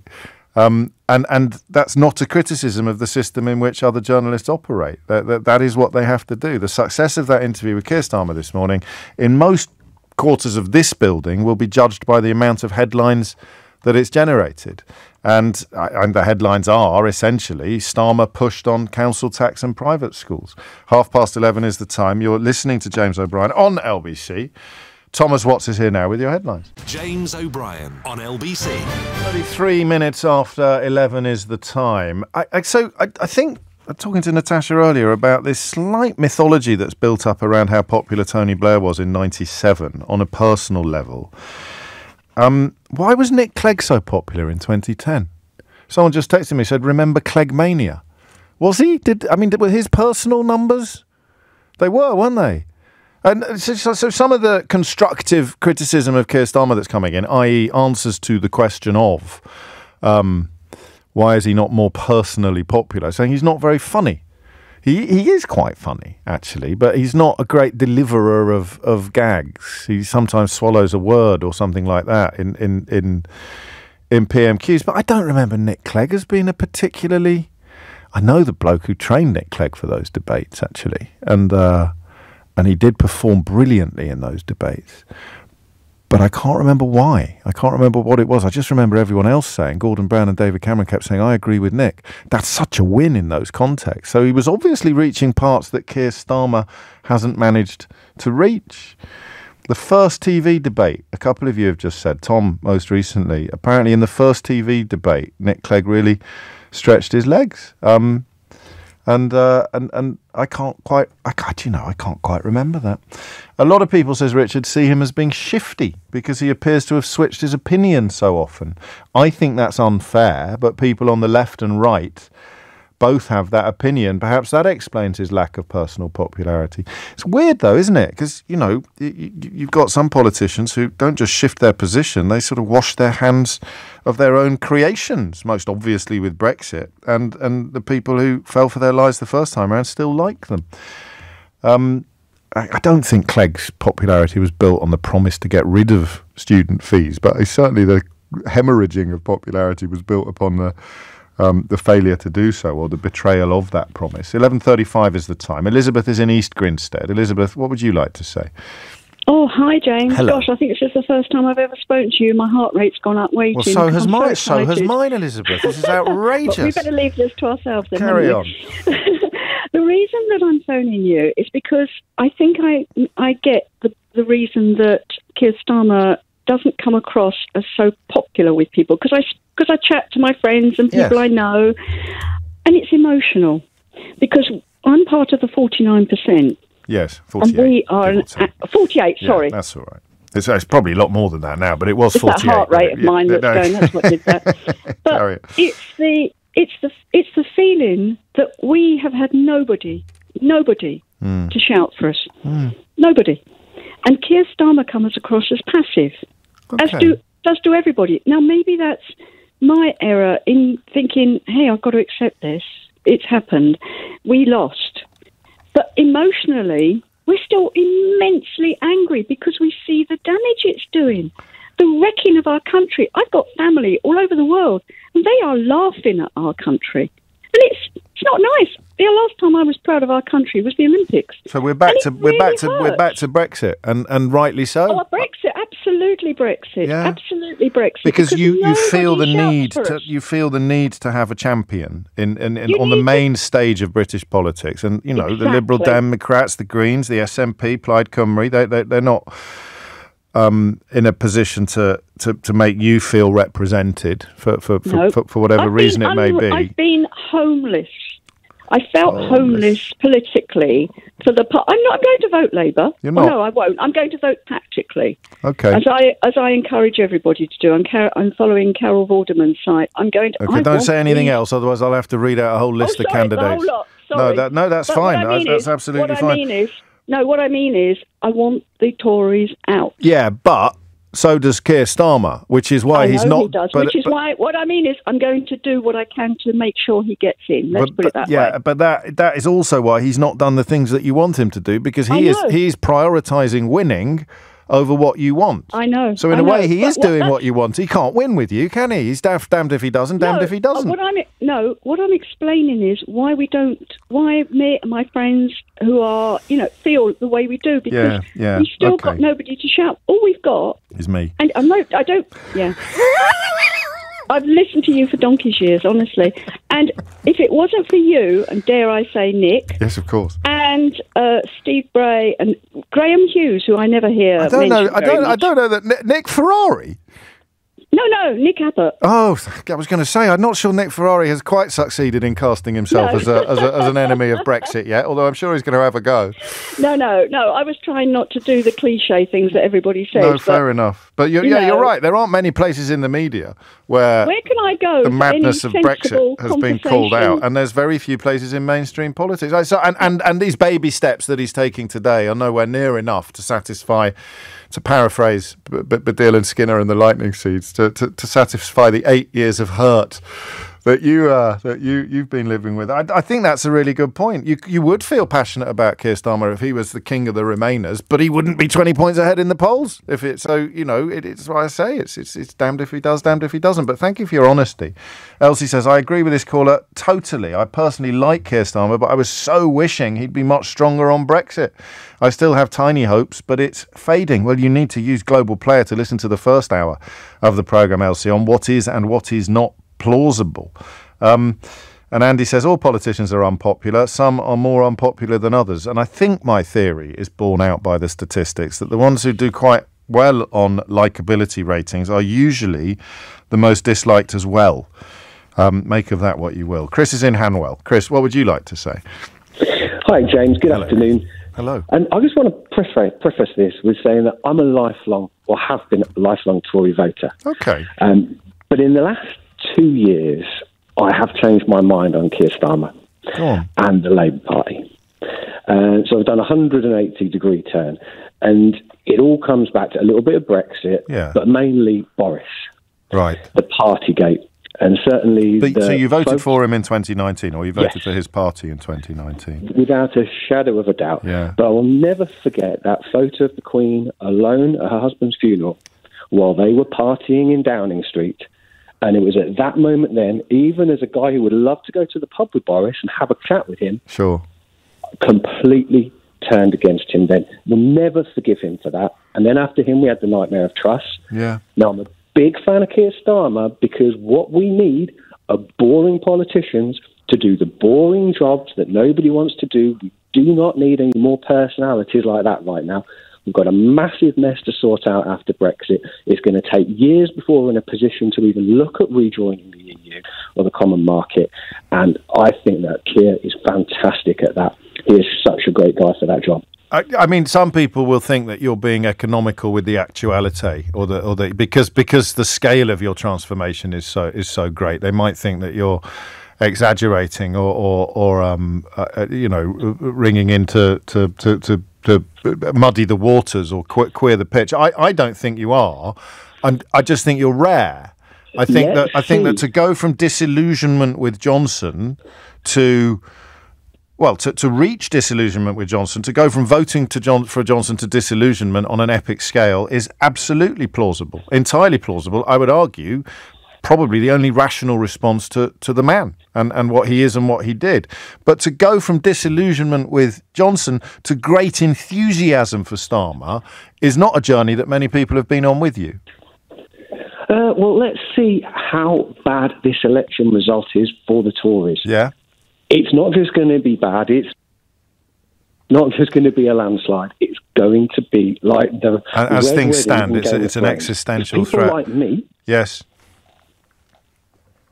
If people like me Yeah. can vote Labour and start liking Keir, then anybody who was on the, the fringes could, because I was definitely not on the fringe. I was a, You're a fully paid up member Boris of the guy. yeah, I, I, and and it is the personalities in many ways, and and the consequences of promoting those personalities that has that has changed. I, I think you're making a lot of sense actually, and, and and uh, part of my question is built upon in a way. The, the idea of, of why more people haven't haven't done what you have done. Although, as with earlier callers, I'm getting a lot of like it's like having a red button. Caroline says exactly boring, sensible, reliable politicians. Yes, please. Stephen says totally agree with this guy. Boom. Um, that, that's exactly. We need to move away from the culture of the of the maverick character, and and um, I guess in some ways, Johnson was the apotheosis of the Maverick character, and you saw what you got when you fell for that kind of shtick. Um, of course, you've still got Farage um, on on the on the uh, extremity of the right wing, appealing to people who haven't had enough of Maverick characters. Thank you, Chris. Yeah, but while you're here, do, do you ever go to the Fox? Yes, sir. Do you ever go to the Fox in Hanwell? I do indeed. The food. That is a lovely pub. That's yeah, what, that's the food has gone slightly downhill, sir. But the Well, there food is goes my free pint. I, there, there goes my free pint next time I wander in. You're d- dissing the chef. It's uh, it's eleven forty four, and you are listening to James O'Brien on LBC. Lucy's in Saffron Walden. Lucy, what would you like to say? Hi, James. Hello. Um, hi. So I was never very political, but just recently I realised that I have a bit of a passion. Okay, what Um, happened? What um, changed? Um, I became a little business owner, so Yeah. I had to go self-employed due to family situation. Yes. Um, flexi hours and stuff, and and I think when you do something like that, you you become more aware of who you're paying your tax and all the different things you have to do with the government and stuff. Oh, how aware interesting! How interesting! But it's it's it's a strange one really because um, it just happened uh, over the last two years, um, and I started to watch PMQs and and I found you on a podcast and then found you on live and and that sort of thing, and then it's go trotting along and basically I look at the person, I look at the person. So every time I see Rishi in PMQs or whatever.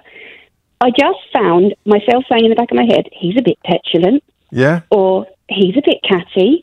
and I used to, you know, thinking, cool, look at these. You know, it was a Yes. bit like, you know, a bit like a drama. And then Keir would talk, and I thought, he's not, he's not very catty. He, he doesn't come back with many quid. And I thought to myself, is that good? Hmm. And then I thought, well, actually, uh, for me as a person, as an individual, a mum, my own cleaning business, fairly basic stuff, Sure.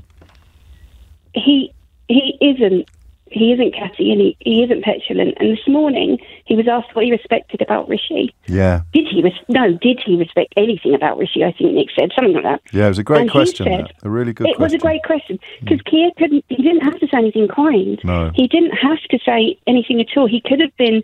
And I'm waiting to see what Rishi says about him tomorrow. Yeah. Um, about um, Keir, Sir Keir, obviously. But Sure. he said on his first day it was really, really busy, and he Didn't still took to the time. Yeah, he didn't have to ring me and say whatever we, you know, battle we have in the forest. Me and you will talk on defence. We will stay close on the things that really matter. And he actually was really grateful for that. You could tell in his voice. I don't think he put that on. I think that was really something So he do you know what that is? That's such a great thing that you've picked up on because that actually goes back to the conversation we were having about the very nature of interviewing with a, with an earlier caller. Because I thought that was by far the most powerful part of the interview, but Yeah, you're never going to but you're never going to get a headline out of that. Are you? so that that was what the other caller was saying about zingers, and, and Starmer comes across as evasive because all journalists are constantly trying to pin him down. But actually, you learnt more about the man probably in that moment than you did in a million conversations about private schools, council tax, and Gaza. It did. And when he talked about his lad doing his GCSEs and just finishing and stuff, I actually felt really. Look, I don't, I don't know how great he's going to be or anything like that. But all I do know is, I kind of felt his family situation. Then your child, child didn't, you know, we need one parent around because the other one's super busy, and and I just felt, even though Rishi talks about his family, it feels different. So what we It what we don't want different. we don't want a, a kind of performing seal, do we? We we, we Well, want someone who um, feels no. a little bit like us. I think and think for me, around me and my family and things and, and friends and people in the community, the more extreme somebody is, the more exciting they are. But for me, the more extreme someone is, the the more afraid I am. So yes. I see Keir as as a safe, comfortable sofa that I know feels safe to sit on. not to break. I, I, think you've, you, well, I get, as I mentioned earlier, I'm getting a lot of compliments for, for callers today, and, and, and you've got you've got a hatful as well. So what a sensible caller. Um, uh, and what you describe, uh, I'm always wary, and it's only women that do this, Lucy. I don't know whether you've noticed when people come on the show and automatically uh, uh, sort of denigrate their own qualifications to comment, because you've demonstrated a higher level of engagement on a personal level with the politics of the moment than at least as much as anybody else has today. You, are fully sort of um, immersed in it now, aren't you? I, be, I believe in him, and if I had got to ask him a question, which I, I didn't ring up to ask a question because I felt it wasn't the right one for today or anything, okay. but I wanted to ask. I'm starting to really believe in you as a right. person. Yes. Please don't, please don't let me down. And it's just such a funny thing to say because he's going to say, "Oh, of course, Lucy, I won't let you down." But I actually like the front bench, uh, the top bench as well. Um, yeah. the, the front bench. I like the people on it, and I liked them before him. So my That's journey's really been kind of progressive because I really like Wes, and I think Wes is my husband's in the NHS and works six days a week right. trying to help people, and I, and I think that Wes is the right one for us. So. I yeah. uh, my, my, my, I lost a friend in lockdown, um, and and when I was preparing the eulogy, I had to speak to some of his former colleagues, and I didn't know that side of his life. I, would never worked with him or anything like that. And they all said mm. the same catchphrase that he had, which he'd say to them, even if they were about, because he was their boss, and he'd be they'd be about to like do a really important presentation, or they were about to go and present to the board or something like that. And all he ever said to them, I can't say one of these words on the radio, but you can work out what it was. He just used to he just used to say to them, Lucy, and he'd look at them very seriously. He'd look them in the eye, and he'd say, "Don't f it up." And that's that's what you're saying to Keir Starmer, I think. I just really want him to look after our country and keep it safe. I think the country needs some arms around it, some big arms around it, and it needs someone to say, look, we don't need to be embarrassed anymore. We don't need to be humiliated about what's happened and, you know, ashamed to, to say I'm from Great Britain or whatever. And and I oh. think the only person who can lead us out of that, and it made oh god, I got goosebumps. The only thing all over, the only thing it could he only person I see that can do it is him. He's not perfect. I'm not saying that. No, I, well, I, I, I, thank you. I'm so glad you were listening today, and I'm so glad you rang in. I'll read you some of the comments coming in. Sarah says, "Great caller." Ash says, "This lady sounds." Wonderful. Um, uh, another Sarah says she's genuine. She's not tribal or tainted, and her views seem raw. I love this caller, says Lisa. Uh, so, um, well done. That's lovely. Thank you, Lucy. Crikey, it's 10 to 12. James O'Brien on LBC. It's six minutes to 12. It, it may not be a phone in. The, the thing we were thinking of doing after 12 o'clock, which is why are so many Nazi and fascist sympathisers attracted to whatever party Nigel Farage is currently leading. They lost 100 candidates between January and April. They've had two Hitler fans in the last week and 41 people who are friends on Facebook with the leader of a kind of Oswald Mosley tribute act, a, a modern fascist movement. Farage, as ever, lies about it and claims that they just shared material or that there are only one or two candidates because I don't imagine he wants to answer the question of, of why so many fascist and Nazi sympathisers are attracted to him personally, because uh, he, he seems to be the only recurring feature of these these various parties. Although Reform technically is, of course, a limited company of which he is the majority shareholder. So, if the buck doesn't stop with the with the uh, chief executive and majority shareholder of a limited company, who the hell does it stop with? I wonder who they'll be trying to blame the latest um, Hitler fan on uh, in the course of today. But it, I, as a phone in, I just don't know. And, and, a lot of you preferred that to the private education phone in, but I, I, don't, I don't know. I think the answer might be a bit obvious. And we, we can't spend a whole hour repeating ourselves, can we? So, I, as things stand, um, I might move the conversation towards why the, the private education conversation is so febrile in this country, when it affects such a small number of people. There's also quite a good story that you had warned me about, and I've now seen some evidence of it. Um, a, a, called Danny. I've lost your text. I'll try and find it during during the news, but um, I've now seen some evidence of what Danny described, while telling me that as an admissions officer at a state school, they're not having any expressions of interest from from parents who were worried about not being able to uh, uh, afford the school fees when the VAT thing kicks in. Back to Keir Starmer. Lisa is in Islington. Lisa, what would you like to say? Hi, Keir. Hello, Keir. Oh, that's a Freudian slip. I'm James. Sorry. That's Hi, all right. James. Sorry. Hi. I just had it in my head of what I was going to say, so I'm a bit nervous. Fair enough. Um, my my thing is, I I just don't trust him. And look, I, I'm kind of between my head and my heart here because um, looking at his CV and all the stuff he's done before, before he became a leader of the Labour Party, I I, I could have yeah. That, that's the kind of Keir Starmer that I would kind of be more likely to trust. Hmm. However, I, with my head, I get it. I get why he's had to do what he's had to do. I get why he's had to move a bit more to the centre. I get why he's got to sort of appeal to a certain type of voters. But that's again the same reason why I don't trust it hmm. because there's been a different formation of who he has become. He's kind of changed. It's like, yes, he changed the party, but also he feels like he's changed as well.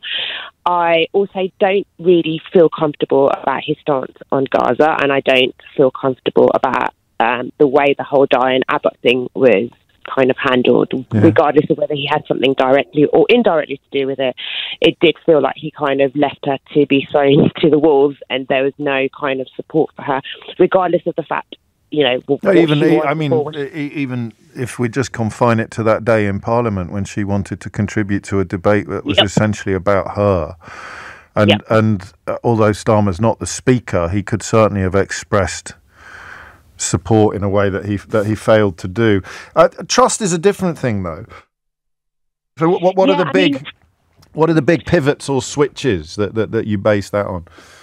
I, I think, uh, for me personally, it, it would be the two things: the, the Gaza stance and the and. But and he's, I mean, better thing. late than it- never on Gaza, calling for an immediate ceasefire. That's pretty unequivocal.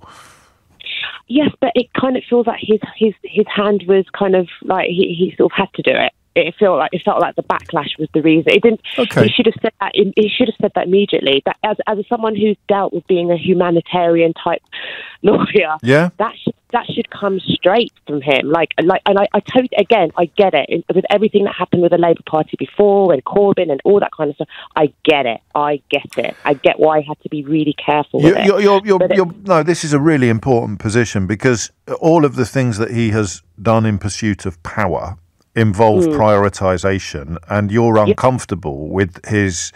With the ease with which he apparently prioritizes, as opposed to some points that you'd think he would stick to come hell or high water. Ex- and then what does that mean for when he's in office? For It when might make him less power? electable, but but it also for you makes him less trustworthy in in in, in the context of power. What what won't he step back from if the weather changes?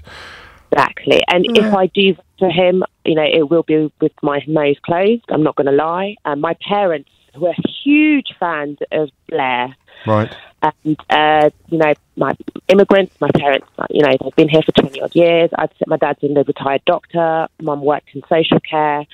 Um, I'd say, you know, of that kind of sort, they were huge Tony Blair fans, and they don't like. I don't Keir know how many. No, well, I mean, there you go. Uh, Maybe a little bit of, of historical revisionism, but I find it easier to believe in the concept of a huge Tony Blair fan than I do in the concept of a huge Keir Starmer fan, which speaks, I think, to the point that you're making. Uh, remember that if you're not registered, not you, Lisa, I'm sure you are, but uh, if, if anyone is not registered to vote, then they won't be able to cast a vote on uh, two two weeks on Thursday. 2.1 million people have applied to register since the election was called on the 22nd of May um, of this year. But the, but the research shows that the people least likely to be registered are from the 18 to 24 cohort and from the least well off sections of our society who arguably have got the most at stake in any general election. So do go to um, gov.co, no, gov.uk, all right, gov.uk slash register hyphen two hyphen vote. Um, uh, if you're going to be over 18 on May the 4th, uh, on July the 4th, even, then that is where you need to be going now. So, um, as we head towards the news, you can head towards your computer. You can be signed up. You can be done and dusted in five minutes flat. It can all be done online. All you need is your name, your address, and your national insurance number, which, frankly, you should know by heart. Um, the deadline is midnight tonight. So, you've got exactly 12 hours to do it. James O'Brien on LBC. It's four minutes after 12. Have a little listen to this. A slightly longer version of Keir Starmer talking about private education earlier on LBC. And see if you can spot the thing. And, and send me a little message while you're listening if you do. There's something in this clip that I don't think could happen in any country other than England. There's so, so something he says that is so self evidently true that you need someone to point out to you that it's also revolutionary. The, the, the discourse surrounding private education in this country has always hinged upon a really insidious presumption, the claim that you've always heard about parents who do what my parents did and what I do when they privately educate their children are, are somehow well anyway I won't I won't oversell it but just have a listen to this and see if you can spot what we spotted because it is I think it's hugely illustrative. Mike in Berkshire. I'm in a region. I'm in a marginal Berkshire seat. I've given up on the Tories. I would be minded to give Labour a chance, but I seem to be one of those people the Labour have chosen to despise. I'm a moderately successful, aspirational parent who's elected to choose private education.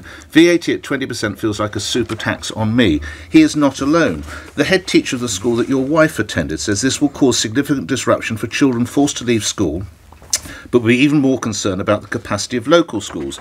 The head of the school that you attended, Reigate Grammar, says this will inevitably lead to thousands of children going to already oversubscribed state schools. How come you know better than all these teachers? Well, Nick, I, I, I firstly, um, I've got nothing against private schools, and I do understand that many parents save hard and work hard to send their children to private schools because they have real aspiration for them. But I also understand um, that all parents have aspiration for their children, including parents who send their children to uh, a state school. And I want to make sure that every single child, wherever they come from, whatever their background, has the opportunity to get on in life um, and that feels that success belongs okay. to them. It's a tough choice. There isn't a lot of money Let, around, but it's a, it's a choice we've made to ensure Let, that we have the teachers we need in our state secondary schools. It's a tough choice. Yeah, you're good. I, well, I, you're absolutely right. It was aspiration. That line there about all parents have aspiration for their children. How can that be a revolutionary thing to say, uh, or, or, or, it sounded new when he said it. I, have done this. I, I, mean, I think that when I used to defend private education, I was a very interesting child, as you could well imagine, in that I would be at private school, often debating for the abolition of private schools in, in good faith. But the I still subscribe to the idea that my parents had more aspiration for me than your parents did if you didn't go to private school. Obviously, money's part of it. Money's all of it. If so, you take two families with identical financial situations, right? One of whom prioritizes private education and one doesn't. Does that parent have more aspiration for their child than the other one? Are you sure? Because you could afford it, but you're not sending your child there. You are prioritizing a BMW or a, or a fancy holiday or a, or a cottage in the Cotswolds. I don't know. I don't know. I don't know. So, but but it's always struck me as obnoxious, actually, for the private education parents to have almost monopolised that word aspiration. Um, so, well, I say it always. Obviously, it didn't when I was much younger, but but that that's why I liked that. Uh, intervention today. I like the idea of, of him simply saying, Can we stop talking about my policy being an attack upon parents who have aspiration for their children? Because all parents have aspiration for their children. So this came in from Danny at 11 o'clock this morning when we were talking about this um, bit of the interview with Natasha. Hi, James. I manage a local authority school admissions service. So that is about as close to the action as you can get. Now listen to this. It says we've had next to no communication from parents suggesting that they're going to be flooding back to our state schools. Although we have been tipped off about groups in private schools putting in fake applications to cause pressure Capacity is an issue in secondary schools, but primary schools are now facing falling rolls, and they have much greater capacity than they've had in years. I've certainly um, experienced schools closing, primary schools closing. Um, because of, of, of, a fall in the uh, a population, I suppose, of a change in demographics. So I didn't quite know what he meant when he said that about We've been tipped off about groups from private schools putting in applications. And then my friend Marina Purkiss, who, who um, has uh, does some work here, she does the Trawl podcast. She's a, a, a wonderful addition to political discourse in this country. She's tweeted something that she's been sent by a parent whose child is at one of these schools. And um, I'm going to read it to you in full because I love it when this happens. Danny says the. Uh, that something's going on, and Marina pops up on my Twitter feed with the evidence. So, a group I'm in shared the message below, so I've shared it with you. That's that's the little message that she begins with. And here it comes. For those with kids at private schools, please edit for your area and circulate far and wide. So this is pinging across middle class WhatsApp groups up and down these islands. I have been speaking to numerous people about the VAT increase and wanted to share the following as parents at various schools are becoming much more active with this becoming a very real issue. I thought you would all be interested in hearing this. In short, the best thing for us to do is to tell all our friends to register their child for their local state school. The reason being that the National Union of Teachers is getting worried about not being able to provision children joining state, and they will lobby the government. It's important they start panicking about a flood of applications coming in and the reality of the situation. And then in bold, even if you have no intention of moving your child. Now, obviously, the plural of anecdote is not data, but it goes on. The most likely scenario is that the NUT will block it as in the VAT increase on school fees or the VAT imposition on school fees, if they start seeing the reality about the number of applications for state school places. Therefore, if we can all make a concerted effort to email our councils and inquire about a school place for September 2024, we can hopefully help to make waves with this, and, and then it gives some guidance on how you might submit an application for a state school place, even though you do not want a state school place for your child. So, I mean, the sense of entitlement behind that campaign is absolutely extraordinary. In order to save ourselves some money, we're going to lie. Um, because if you weren't looking for a place for your child, then you've already concluded that you can afford the 20%. SEMA's not pulling any punches this afternoon. I'm so fed up with all these private school parents whinging. Tell the schools to manage their finances better and not be heavily reliant on the state benefit of acting as a charity. Perhaps they could feed all the children for 30p a meal. God, we haven't heard much from him, have we, lately? And of course, I can't talk about him, can I, without having to read out a full list of candidates? So I don't think there's such a thing as the NUT anymore. But you wouldn't expect the private uh, that, that particular parent to know that. You've got, it will be teaching unions, and I have read somewhere about teaching unions having some concern if if there is a massive um, exodus. And and as I said, that's that's one parent um, sharing their WhatsApp message with with one commentator, with one journalist. But still, um, it is pretty grim stuff. And and and when Nick interviewed Keir Starmer earlier today, uh, the the rest of the media, not just LBC, the rest of the media then picks over the bones of that interview, looking for the salient moments. And questions about private education have made the headlines. And I I don't know why anymore. I really don't know why. I used to think I don't know what I used to think on this, but what what what, what is becoming increasingly clear? Well, listen, I'm going to tell you something, and then you tell me whether I'm right or wrong. But we'll also throw in a couple of other questions as well, just to keep things interesting. Is is it a bigger issue than this analysis allows? So here's what I think. Right, almost everybody who has achieved a position of prominence in the British media was privately educated. I, I, I can't I mean I can't run through the whole roster of LBC presenters, but I am confident that a significant majority of us went to private schools. I'm thinking of all the newspapers that I've been on, and while it's not everybody, there will always be exceptions. I think, for the purposes of this conversation, moving into an area, a, a catchment area for a very high performing, non fee paying grammar school that's so popular it's actually had an impact on property prices in the catchment area, I think that applies as well, personally. But the, because members of the media are part of this cohort, the media massively misrepresents its importance in conversations. So that's theory number one.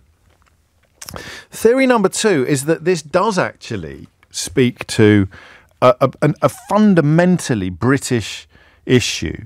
It speaks to probably the, the single most important social issue that is peculiar to these islands, and that is class. I wouldn't be surprised if this is a, a, less big deal in Scotland, although uh, Jason's saying that. I'm thinking about it, Jason. Scotland's full of private schools, mate.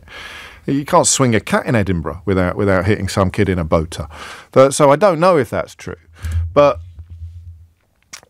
but but but the political salience of it is high among people who don't have skin in the game. That that's the thing I don't know. So it's it's one of two things, or possibly a, contra- a, a combination of both. It is either a really, really manipulated media magnifying glass because so many of us both went there and send our children there, or it's actually an issue that speaks to much deeper questions of politics and equality, politics and access, and politics and aspiration. So I didn't really clock until this morning how lazily I had taken the relationship between private education and aspiration. It's a personal thing, this. Why, why, did my parents send me to private school? Because they wanted me to go further in life than I would have done if I didn't go to a school like that. Now, it might not be true, but that was their belief. And they prioritized that payment over other things they could have bought because they thought that kind of education would send me further in life than a different kind of education.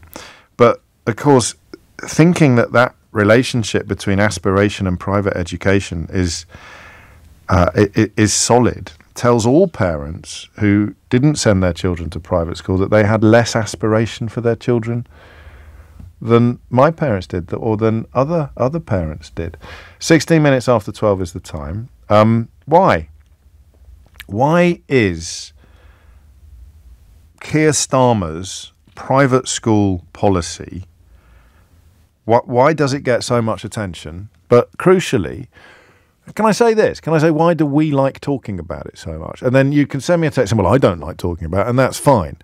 But you need to tell me why you don't think it is an interesting issue. Is it interesting because journalists have so much skin in the game, or is it interesting because of what it says about the British condition or the English class system? Lee says, It's true by virtue of the fact that you are on the radio right now. I think I agree with you, Lee. I, I don't I don't think I would be doing what I'm doing now if I hadn't been to the sort of school that I went to or the specific school that I went to. I'd love to believe that I that I would have done if I'd gone to you know a, a normal school, but I don't I don't I don't know. Um, I don't I don't I don't think so actually. But and, and, and Stan makes a point. Crimea River. Where was the outrage when Sure Starts and libraries were closing? And and that's a really good point. But that's why I think it might be a much more political conversation than much of the media realizes. Much of the media is just whining because they're worried that they're going to be affected by it and they think that everybody else is like them. So there's been two articles in the Mail recently. One, uh, or one in the Mail about a boy who was worried that he might have to go to a state school. I'll read you bits of that because I thought it was a parody. And one about somebody whose parents could only afford to send one child privately and, um, and so sent their second son to a comprehensive school. Which I thought was a little bit weird. Um, if, if certainly if that was me, I'd have sent neither of them privately. But I want to know what you think. I want to know what you think about the popularity and the salience of this conversation. Is it skewed by journalistic self interest, or does it speak to an eternal truth about the class system in this country? It's 1219. You're listening to James O'Brien on LBC, and if you hit the numbers now, you will get through. James O'Brien on LBC. So here's an interesting dichotomy. My friend Scott has messaged me to say on planet Earth, literally no one is talking about VAT on private schools. So I checked that with Eleanor, the, the, the, producer of the program, who didn't go to private school, but some of her friends did, and and they are the friends who went to state schools and and and private schools are talking about this quite a lot. So I don't know whether that's an age thing or or is it a graduate? Could it be a graduate thing? I don't want to sound snobbish, But it's a conversation among the graduate class more than it is about the non-graduate class. I, I, I don't I don't know. I genuinely don't know. I've got to stop saying that. Whenever I say I don't know, I always add I genuinely don't know, as if I sometimes pretend not to know things. I don't. I do know, but shut up, James, and take some calls. Jane's in Winslow. Jane, what would you like to say?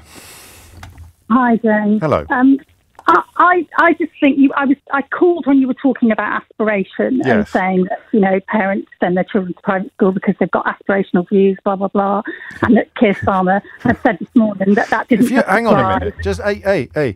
When you are relaying back to me things that you've heard me do on the program, could you avoid saying blah blah blah, please, Jane? You know what I mean. I do know I'm what you mean. Blah I'm blah blah. Of the fact that I'm conscious of the fact that you're not going to give me very much time. Of course, so I, of course I. Oh, okay, all right. Carry on. Carry on. Carry on. So basically, what you've said that you think that it occurred to you suddenly like a light bulb. That was the impression I was getting. Yeah, a bit. That you know he'd mentioned that all parents are aspirational. Well, I take issue with that because I don't think all. I think most. No. I agree, but you can't say all. So let's be clear about that. Well, there were people at my public school whose parents weren't aspirational. They, they, no, exactly. they, they were out of sight, out of mind, and they, they were the we, fifth generation of people to go to that school. And because they owned half of half of Hampshire, it. it. was just a, yeah. as natural as yeah. breathing. Snobbery. Yes. Snobbery there's certain snobbery, you know, and and you will know because of the school that you went to that mm. quite often in those particular families where that's just what happens, grandparents pay for their grandchildren to give the parents breathing space, and then the, when those parents become grandchildren, grandparents, they pay for their grandchildren, oh, yeah. and so on and so forth. Probably. And that's how the generational thing. It does. That's what happens. Yeah. There are. But my point was that there are wider reasons, which I think is why this debate is so interesting and so many people want to talk about it. There are those on the hard left who absolutely despise the idea of, you know, like Angela Rayner, yes. despise the idea that state that private schools could exist. She wants to disband them completely. She wants to compulsory purchase or whatever it is, take over the buildings and turn them into state schools. How she would decide who went there, God only knows, but there you go. And then there's the others who sort of sit there. And I personally think that most parents, if they have the opportunity to send their child to a fairly middle of the road a private day school where the class sizes are 15 to 20 mm. and you know there are opportunities that don't exist in the state system because the days are longer the discipline is better generally gross generalization there is a range of state schools available but i'm talking generally yeah. then they would probably do that but then there are other reasons which are very important. But only, but only seven percent do, and that includes the, the really fancy schools as well. So, so you can't use the word most. I don't think in this context. No, I said, I said if they could afford it, and the reason they don't yeah. is because they are so eye-wateringly high. Yes. My last child that went to public school cost me forty-five thousand pounds a year for his after tax. Please hold. that's, how many years have I been doing this job? That's never has that ever happened before? I don't think that's ever. I don't know what happened there. Can we try and get Jane back, please? I think she's got the headmaster on the other line. Shay's in Acton. Shay, what would you like to say? Hi, I've wanted to talk to you about this topic for so long. Please finally, hold. Finally got the chance. Um, finally got the chance. Carry um, on. I I basically am a an, an immigrant's child who was sent to private school yes. on this aspirational basis. I'm, I'm black, and my parents said to me, "Look, uh, in order for you to compete at the same level as your white counterpart, we're going to find this extra money." Obviously, they did have good jobs. We're going to find this extra money for you to go. Sure. So that was very much how it was sold to me, so that I would be on the same level. And Yes. now I run a tutoring. I run a tutoring business, so I get children into private school around the area. Yeah. Um, and I would say, yeah, it's the aspiration. This this topic is tapping into something in the psyche, in the British psyche, which actually is something you taught me about the frustrated millionaire. Even though I am not a millionaire, Yeah. if I was a millionaire, this is what I would do. And I feel like the same thing is happening with private schools. Even though 93% of people in this country can't afford it, they're still operating or thinking about it on the basis of if I could afford it, would I want to be paying VAT? So I'm on the ro- I'm on the wrong end of inequality, but I might be on the right end of it one day. Therefore, I'm in favour of inequality. Exactly that. I don't But know I've- about it on this I've- one. I've- But the thing is, the thing for me is, I just think Keir Starmer could be selling this in a much better way. So what I, I think he needs to hammer home that VAT Hmm. does not need to be passed on to the parent. No, like the course. school can absorb it. Right? So the school can, it doesn't have to be passed on. And secondly, if I were him, what I would do is I would I would give the private schools a choice.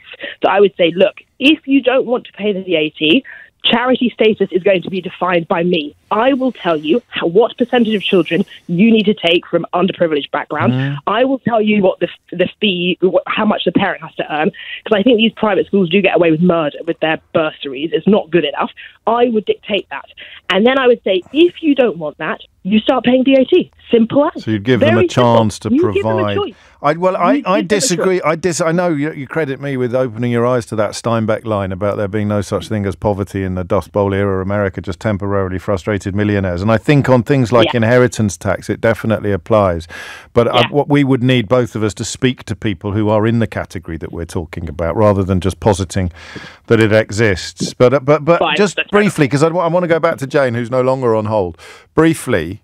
Yeah. What's the difference between aspiration and snobbery? Because this is the point she was making. We all say aspiration, but actually, what these parents are trying to buy is is a golden ticket. It's, it's, it's an un, as, aspir- no. ah, here it is, Shay. Aspirations is a good thing. Aspiration sounds is a I know. positive, but I would but, say but buying an unfair advan- buying an unfair advantage is not a good thing. Honestly, if you have talked to every single parent I work for, Yep. if you if they thought that there was a state school. oh, Which is why they all pile into Tiffin all the time. They all take the exam for Tiffin because they're like, the, for them, This is a school in Tiffin West is London, a private school. which it's is a free. private school without paying, Yes. which is free. If there was schools like that available, trust me, not one of them would pay a penny for the private school. No, but They that's that's an it- almost unique example. They're, they're- because they'd then be getting a private school education for free. I mean, it's like some Yeah, of the grammar schools in Kent and some of the other examples as well. But, But they're- but used to think that about Holland Park as well. yeah, we're being too school. specific on. I mean, it's, are something you don't hear me say very often. But I think we're being too focused on the West London, rarefied West London conversations. I have enough of them off air. But I, but I hear you, and I know exactly what you're saying, and I and I don't agree. Although you're closer to the action than I am, so possibly I'm being a bit arrogant. It's the first time for everything. Shay, thank you. Back to Jane in Winslow. Just push me because we're short of time now. Back to that difference, which I think is really interesting between aspiration and snobbery. Wasn't saying that I just think that all parents who send their children to private school are snobs. I'm one of them, so I don't think I'm a snob per se. Very, but I few, think very a- few snobs do think that they're snobs. it's one of no, the first first fine. marks of snobbery, I think. well, okay, so call me a snob. I don't no, I'm not calling it. I don't, frankly, just don't need to use that sort of language. I don't, I don't care. I No. don't care what you think in that Okay. respect. I'm just saying that I think that there are other factors rather than simple aspiration. Yes. And so the point I was making your, to your producer is it was interesting this morning when Nick was talking to Keir Starmer and he said there was a question from a headmistress, if you remember, and she was an SEN at uh, Yes. school, basically. And the numbers were that basically about 7,000, I think it was, from the figures that of her pup- of the national pupils that are in SEN's private provision have got EP, EPNs, you know, E- EHCPs.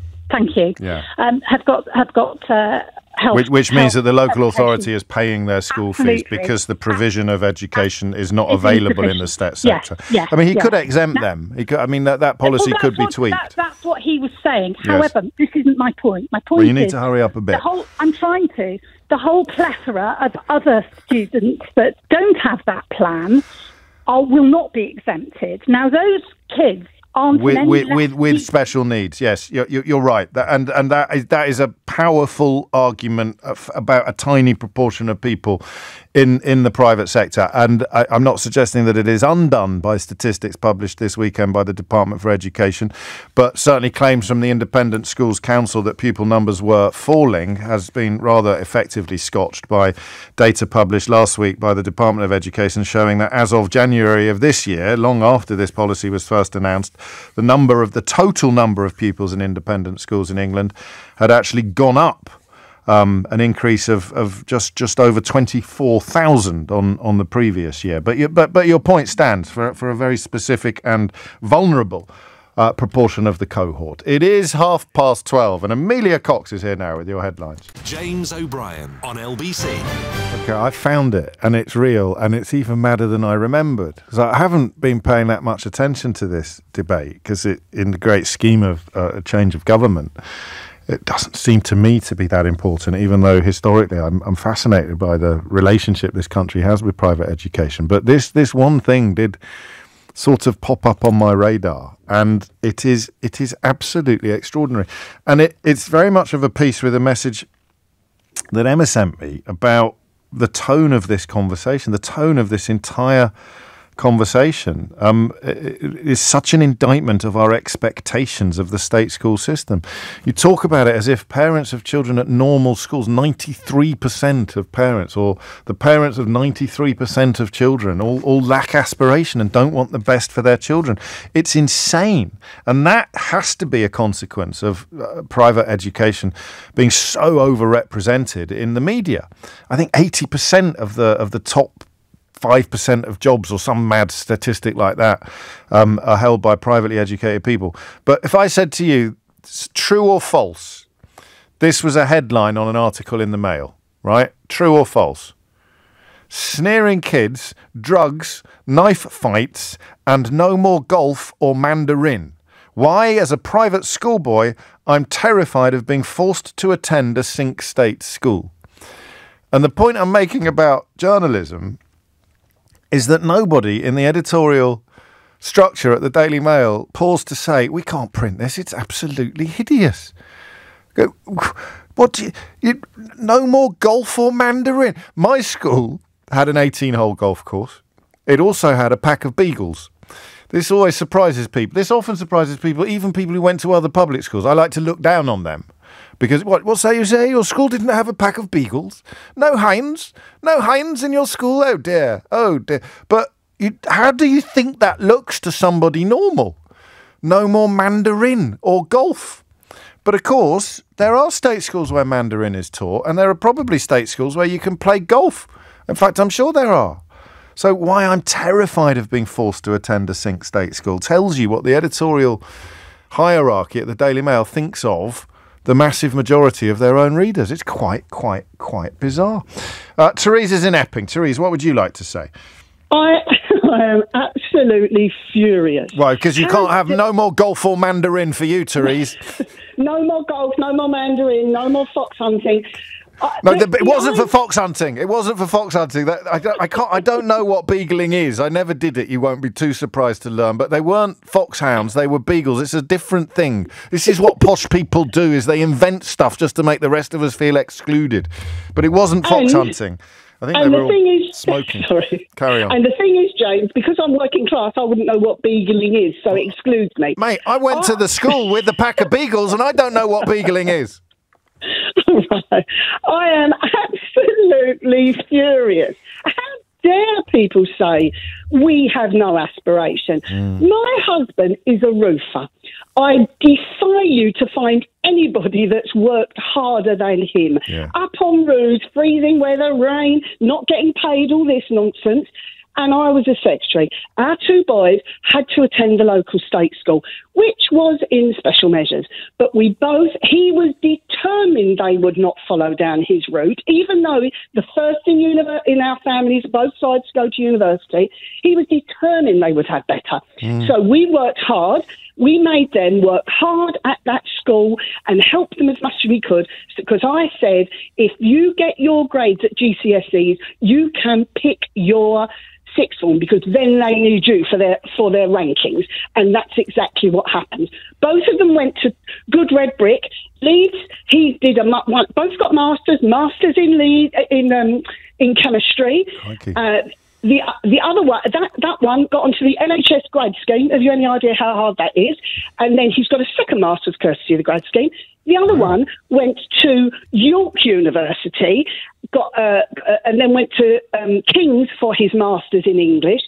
The first one has just been promoted to be a director of a local uh, NHS Trust. The second one's rising up. How dare these people say that we I love don't you. have aspirations? I love you because child? yeah, because what you've done is identify the insidiousness of that phrase that I'm afraid I have heard so many times. We worked really hard to afford the fees because the implicit accusation there is that you and your husband just should have worked harder and then you could have sent your kids to a school like the kind of people that say we work bloody hard. So it might be true, but it's got absolutely nothing to do with the reality of the inequality. No, and the other thing I would say to you, our dentist that I went to, he sent his three children to private school, and he said to me, all three of them, he said to me at the end because they were similar ages, where did where did they go again? What happened? And do you know what he said to me? Go on. Christ, I mine have done no different, and I've paid out all that money. That's what he said, and I said that's because you're not a smart working class woman. Well, I was That's about it. to say that there there is also an unfair advantage in the great scheme of things is that not every kid has a mum like you. No, no, that's not. I, hate them people. And also, the final, another thing I would say. Good lord. These people that write, well, I'm so angry that write all this, that write all this about, oh, um, you know, they haven't got aspiration, all that. What are they afraid of? Are they afraid of competition? Are they afraid if they all went to the same school, perhaps their child would not rise up like my two, our two boys have? Well, I, Is that what know, afraid of? I think yeah, exactly that. And this is this is true of all of us. Actually, I'd love to think that I would, um, I'd be here now talking to you in my lovely job if I'd gone to a, a, a normal school, but I wouldn't. I just don't think I would, and that's the thing they're all terrified of admitting. Of course, they're afraid of the competition. It's it's like such an obvious way in which to give your kid a. And I I defend it on the grounds of why wouldn't you want your kid to have an unfair oh, advantage? What?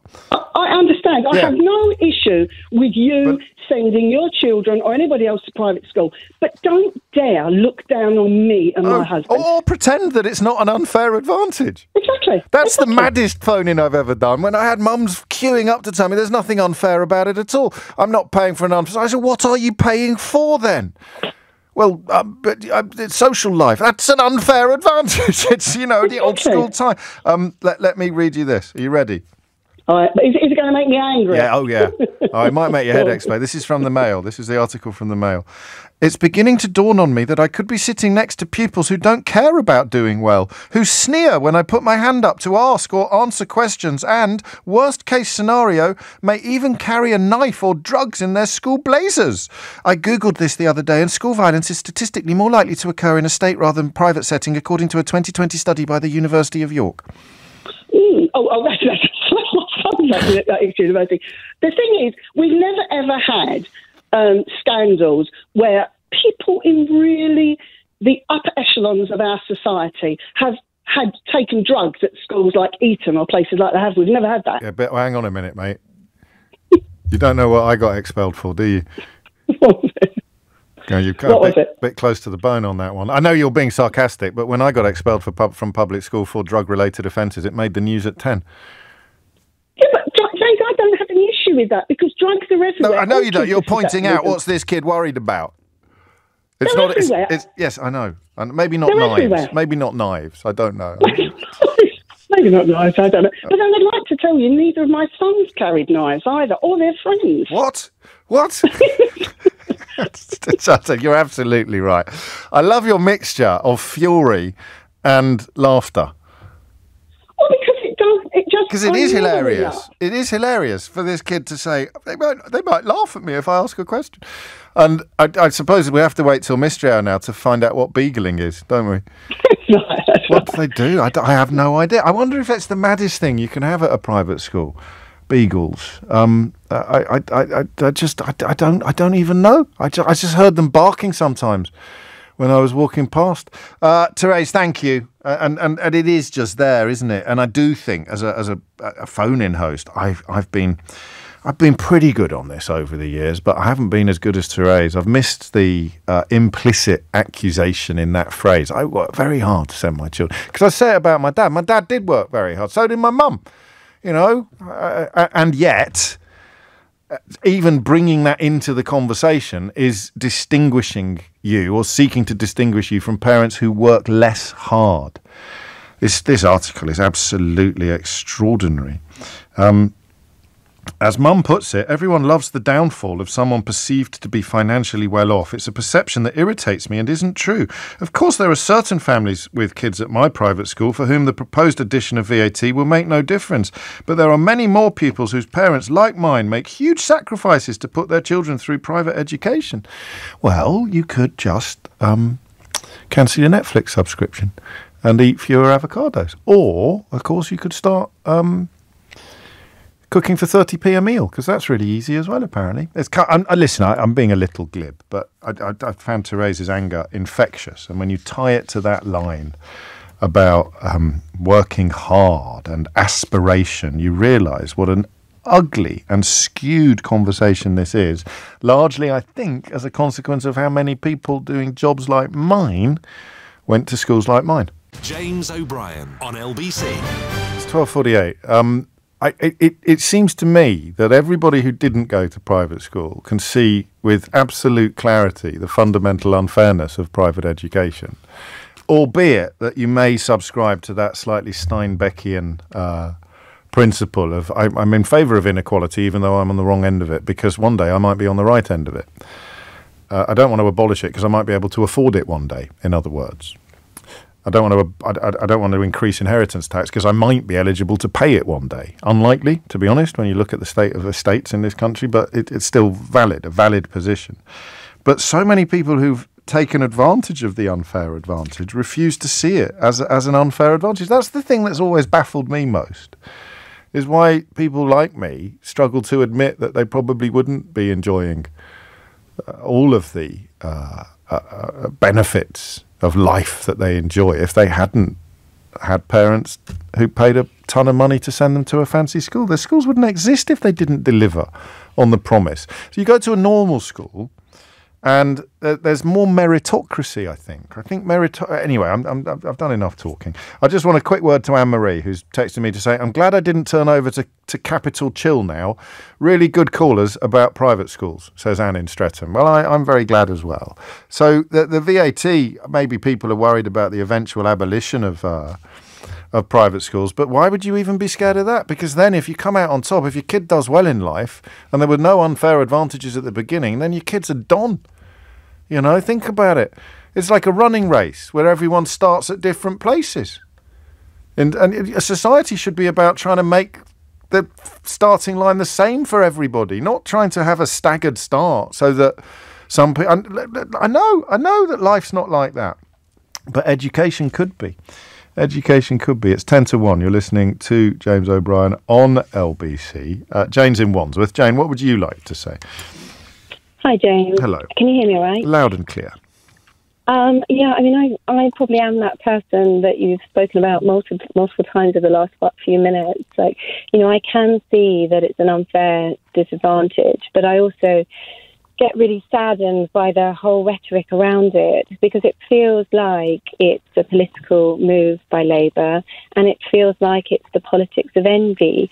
And, you know, I think closing the gap by elevating state sector outcomes is healthy, but I think doing so by hurting private schools in the short term, you know, implementing it very bluntly, I think is um, the wrong thing to do. Well, I, I, I, mean, I find the politics of envy historically a very unhelpful phrase, but I mean, it's not politics of envy from me because I, I, Uh, taken advantage of private education both as a pupil and as a parent. So where am I coming from on this? Yeah, I mean, I like I as, as in what do you mean that you? Well, it can't be envy for me, can it? Because I can afford it and I do it. So why why am I in favour of this policy then? Because yeah, because it's a bit of a it's a bit of a, of a an easy get out politics of envy. And I, personally, I think it's complete rollicks. I think it's a commitment to equality while simultaneously refusing to let people like you give advantages to your children that I'm going to deny to my children in, a, in an unfair universe. So if it's not politics of envy for me, what is it? I think you know, like, look, I I like you know, like yourself. You know, I went to private school, but I also went to state school. I'm one of those people that you know, I went to state school up until I was 14. They actually, my parents and my yeah, brother. But I just I'm just picking up on the politics of envy line because it can't possibly yeah. be politics of envy for me. So what is it? Yeah.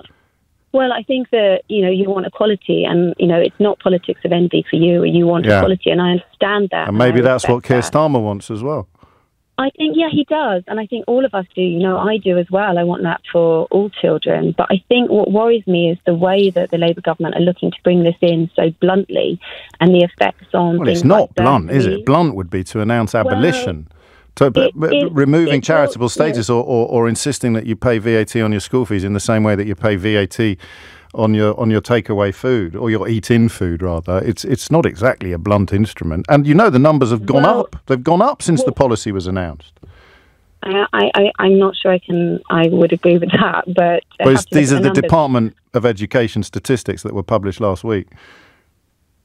I think yeah, I mean, I can't comment on that. i would be very surprised if they've gone up. Like I can tell you well, right I'm now, telling you, that they have. That's not an opinion; it's counting. The Department of Education published figures uh, uh, up in January, uh, up to January of this year, long after the policy was known, and the, and they've gone up by 24,150 pupils across England alone. Private school applications have. Yes, private private school oh. attendance. Well, yeah, I mean, I'm, amazed that, you know, I find that really surprising because I know from talking to everyone, uh, you know, we're lucky enough to send, you know, we both work full time, you know, we're lucky enough to send our so. So did Therese. Therese worked full time. Her husband was a roofer and she was a secretary. I, I completely understand that. You know, I completely understand that. I think that, you know, unfortunately in life, and this is unfortunate, and I know this is unfortunate, but they're unfortunately in life, you know, you are going to have people that have more and have people that less, and we can all strive for equality, and we all want equality, and we all want people who use the phrase "politics of envy" don't want equality, Jane. They want well, en- they want entrenched privilege, and they want it to be protected. Yeah, I think I, I mean I I, disag- I disagree there because I ah, think right, that well I'll let I'll let know, the listeners make up their mind. Yeah, yeah. I think that unfortunately, can I just, you know, I want to make the comment like, you know, there are what people do fail to realise is that there are people out there, and you know, I'm sure this won't get sympathy from many people, but the actual living truth of it is that you know we've got friends that don't go on holiday, drive a battered old car, can hardly afford the private school fees of their kids, and they literally literally don't have any of the life luxuries, but they do. Well, if they get rid of the battered old car, they'll be able to afford the um. I mean, get a bicycle. They'll be able to afford the VAT. Yeah, I think you know. I think that um, yeah, I think that. I mean, it's. I think it's quite sad, really, to make a, a mockery of their situation. You know, they're doing what they can to try and give their. Sorry, it's, it, it's so your theoretical friends and their theoretical battered old car shouldn't be mocked. Yeah, I think okay. you know. I, I, I but, think, but but know, accusing people who want uh, fairer education in this country of politics of envy, that's absolutely fine. I don't think. And when you say yeah. we both work hard, what do you think you're saying about parents who can't afford to send their children to private school? No, everyone works hard. Everyone. So why mention hard, it? And I appreciate I appreciate that because it, a lot of people think it's entitlement. A lot of people think that you're paying private school fees through grandparents and everyone else. No, but when you say you know, we both work hard, what are you saying about the people who work very hard but don't send their children or I'm can't? not saying anything about. Of course you people. are. So you're what's it got to do? What's it got to? What's it got to do with the conversation? What I'm doing then? is what I'm doing is I'm making the point that we're not people that have been are having our school fees paid for us. No. You know, we are trying to. But would you work less hard if you were? No, no, I wouldn't. I've well, then it's not. It's not even remotely relevant then to this conversation. But I'm making. Well, it is because I'm making the point that we're, you know, we are families that are not having our private school fees paid for us. We're doing our absolute best to try and pay those. Yeah. And you know, we, you know, we, we're gonna, you know, we, it's going to be very tight for us. It's going to be very tight for a lot of people, and I don't think that well, I mean, it's already very tight for, for, for, for, a lot of people, and, and the numbers, as I say, have gone up. So, I, I mean, most of your fears are probably unfounded. But um, but when you say I, I, I work very hard, whether you intended or not, you are uh, passing judgment on people who don't send their children or can't send their children to private school. But um, I, I think, I hope, in the course of that conversation, you, you, you probably realised that without me having to labour the point. Rob's in Penrith with the last word on this. Rob, what's it going to be? Oh, hello, James. Uh, first time on for me, so thanks for having me on. Well, I'm just uh, getting the hang of it, Rob, so we're in good company. um, I'm a former chief examiner for GCSE English, and this gave me a lot of insights into the nature of education across the country that perhaps not everybody has. And I've seen a great deal about the state sector yes. and what happens in schools, having marked papers right across the spectrum. Um, and it's not a level playing field, if I can use that cliche, from place it's to a, place. It's a cliche for a uh, reason, isn't it? It is a cliche. And, um, you know, I was in teaching in the 70s when Thatcher took our playing field away as well. Um, but if I took you to a, a school, say, in a leafy suburb in somewhere like Cheshire, the results would be in inverse proportion to an inner city school where the students had not done as well yes. because they're suffering from such deprivation and disadvantage. And the money isn't in the system to support them in the way that they need for them to succeed in life. And this obsession by the right wing press yeah. to deal with a tiny cohort of people who really don't deserve it and who are themselves very privileged in, compare, in comparison. So is, but what do you hear then? Because I don't, I, I, you know, it's so easy for me to agree with you and to admit that my privilege is epic and entirely undeserved. What what do you hear when people can't? Acknowledge that or can't admit it or if i said well hang on my parents work very hard or something like that that's the bit that i still struggle with a bit i, I think they're being entirely cloth-eared yes and, i'll take that you know and uh, you know, this for me by Starmer is a small step. It's a tinker. Well, it's no, it's more than a tinker, but it is a small step. You're right. It's a small step um, towards redressing the terrible imbalance in education that there is in this country and the massive deprivation that there is in some areas. And could I just add, by the way, not really. My, well, I just. But here you are. Go on well, quickly. In well, two both, sentences. Both, two sentences, Rob. Both my kids went to private uh, to to state school. They both got good degrees. My partner's uh, daughter went to private school because she's got severe dyslexia. She's just got a PhD. So it really, it's about determination. Well, I imagine think. how well imagine how well they all could have done if only you and your partner had worked a bit harder, Rob. Oh, well, this is a later partner, I'm afraid. oh, well, you don't. Well, I'm, I'm, I'm, sorry to hear that, but I think I think my sarcasm had already landed. It is coming up to one o'clock. If you missed any of today's show, you can listen back on, catch up on Global Player, the official LBC app, where you can also pause and rewind live radio. Download it now for free from your app store or head to globalplayer.com. Coming up at four on LBC, it's Tom Swarbrick, but now it's time for Shelagh Fogarty. James O'Brien on LBC.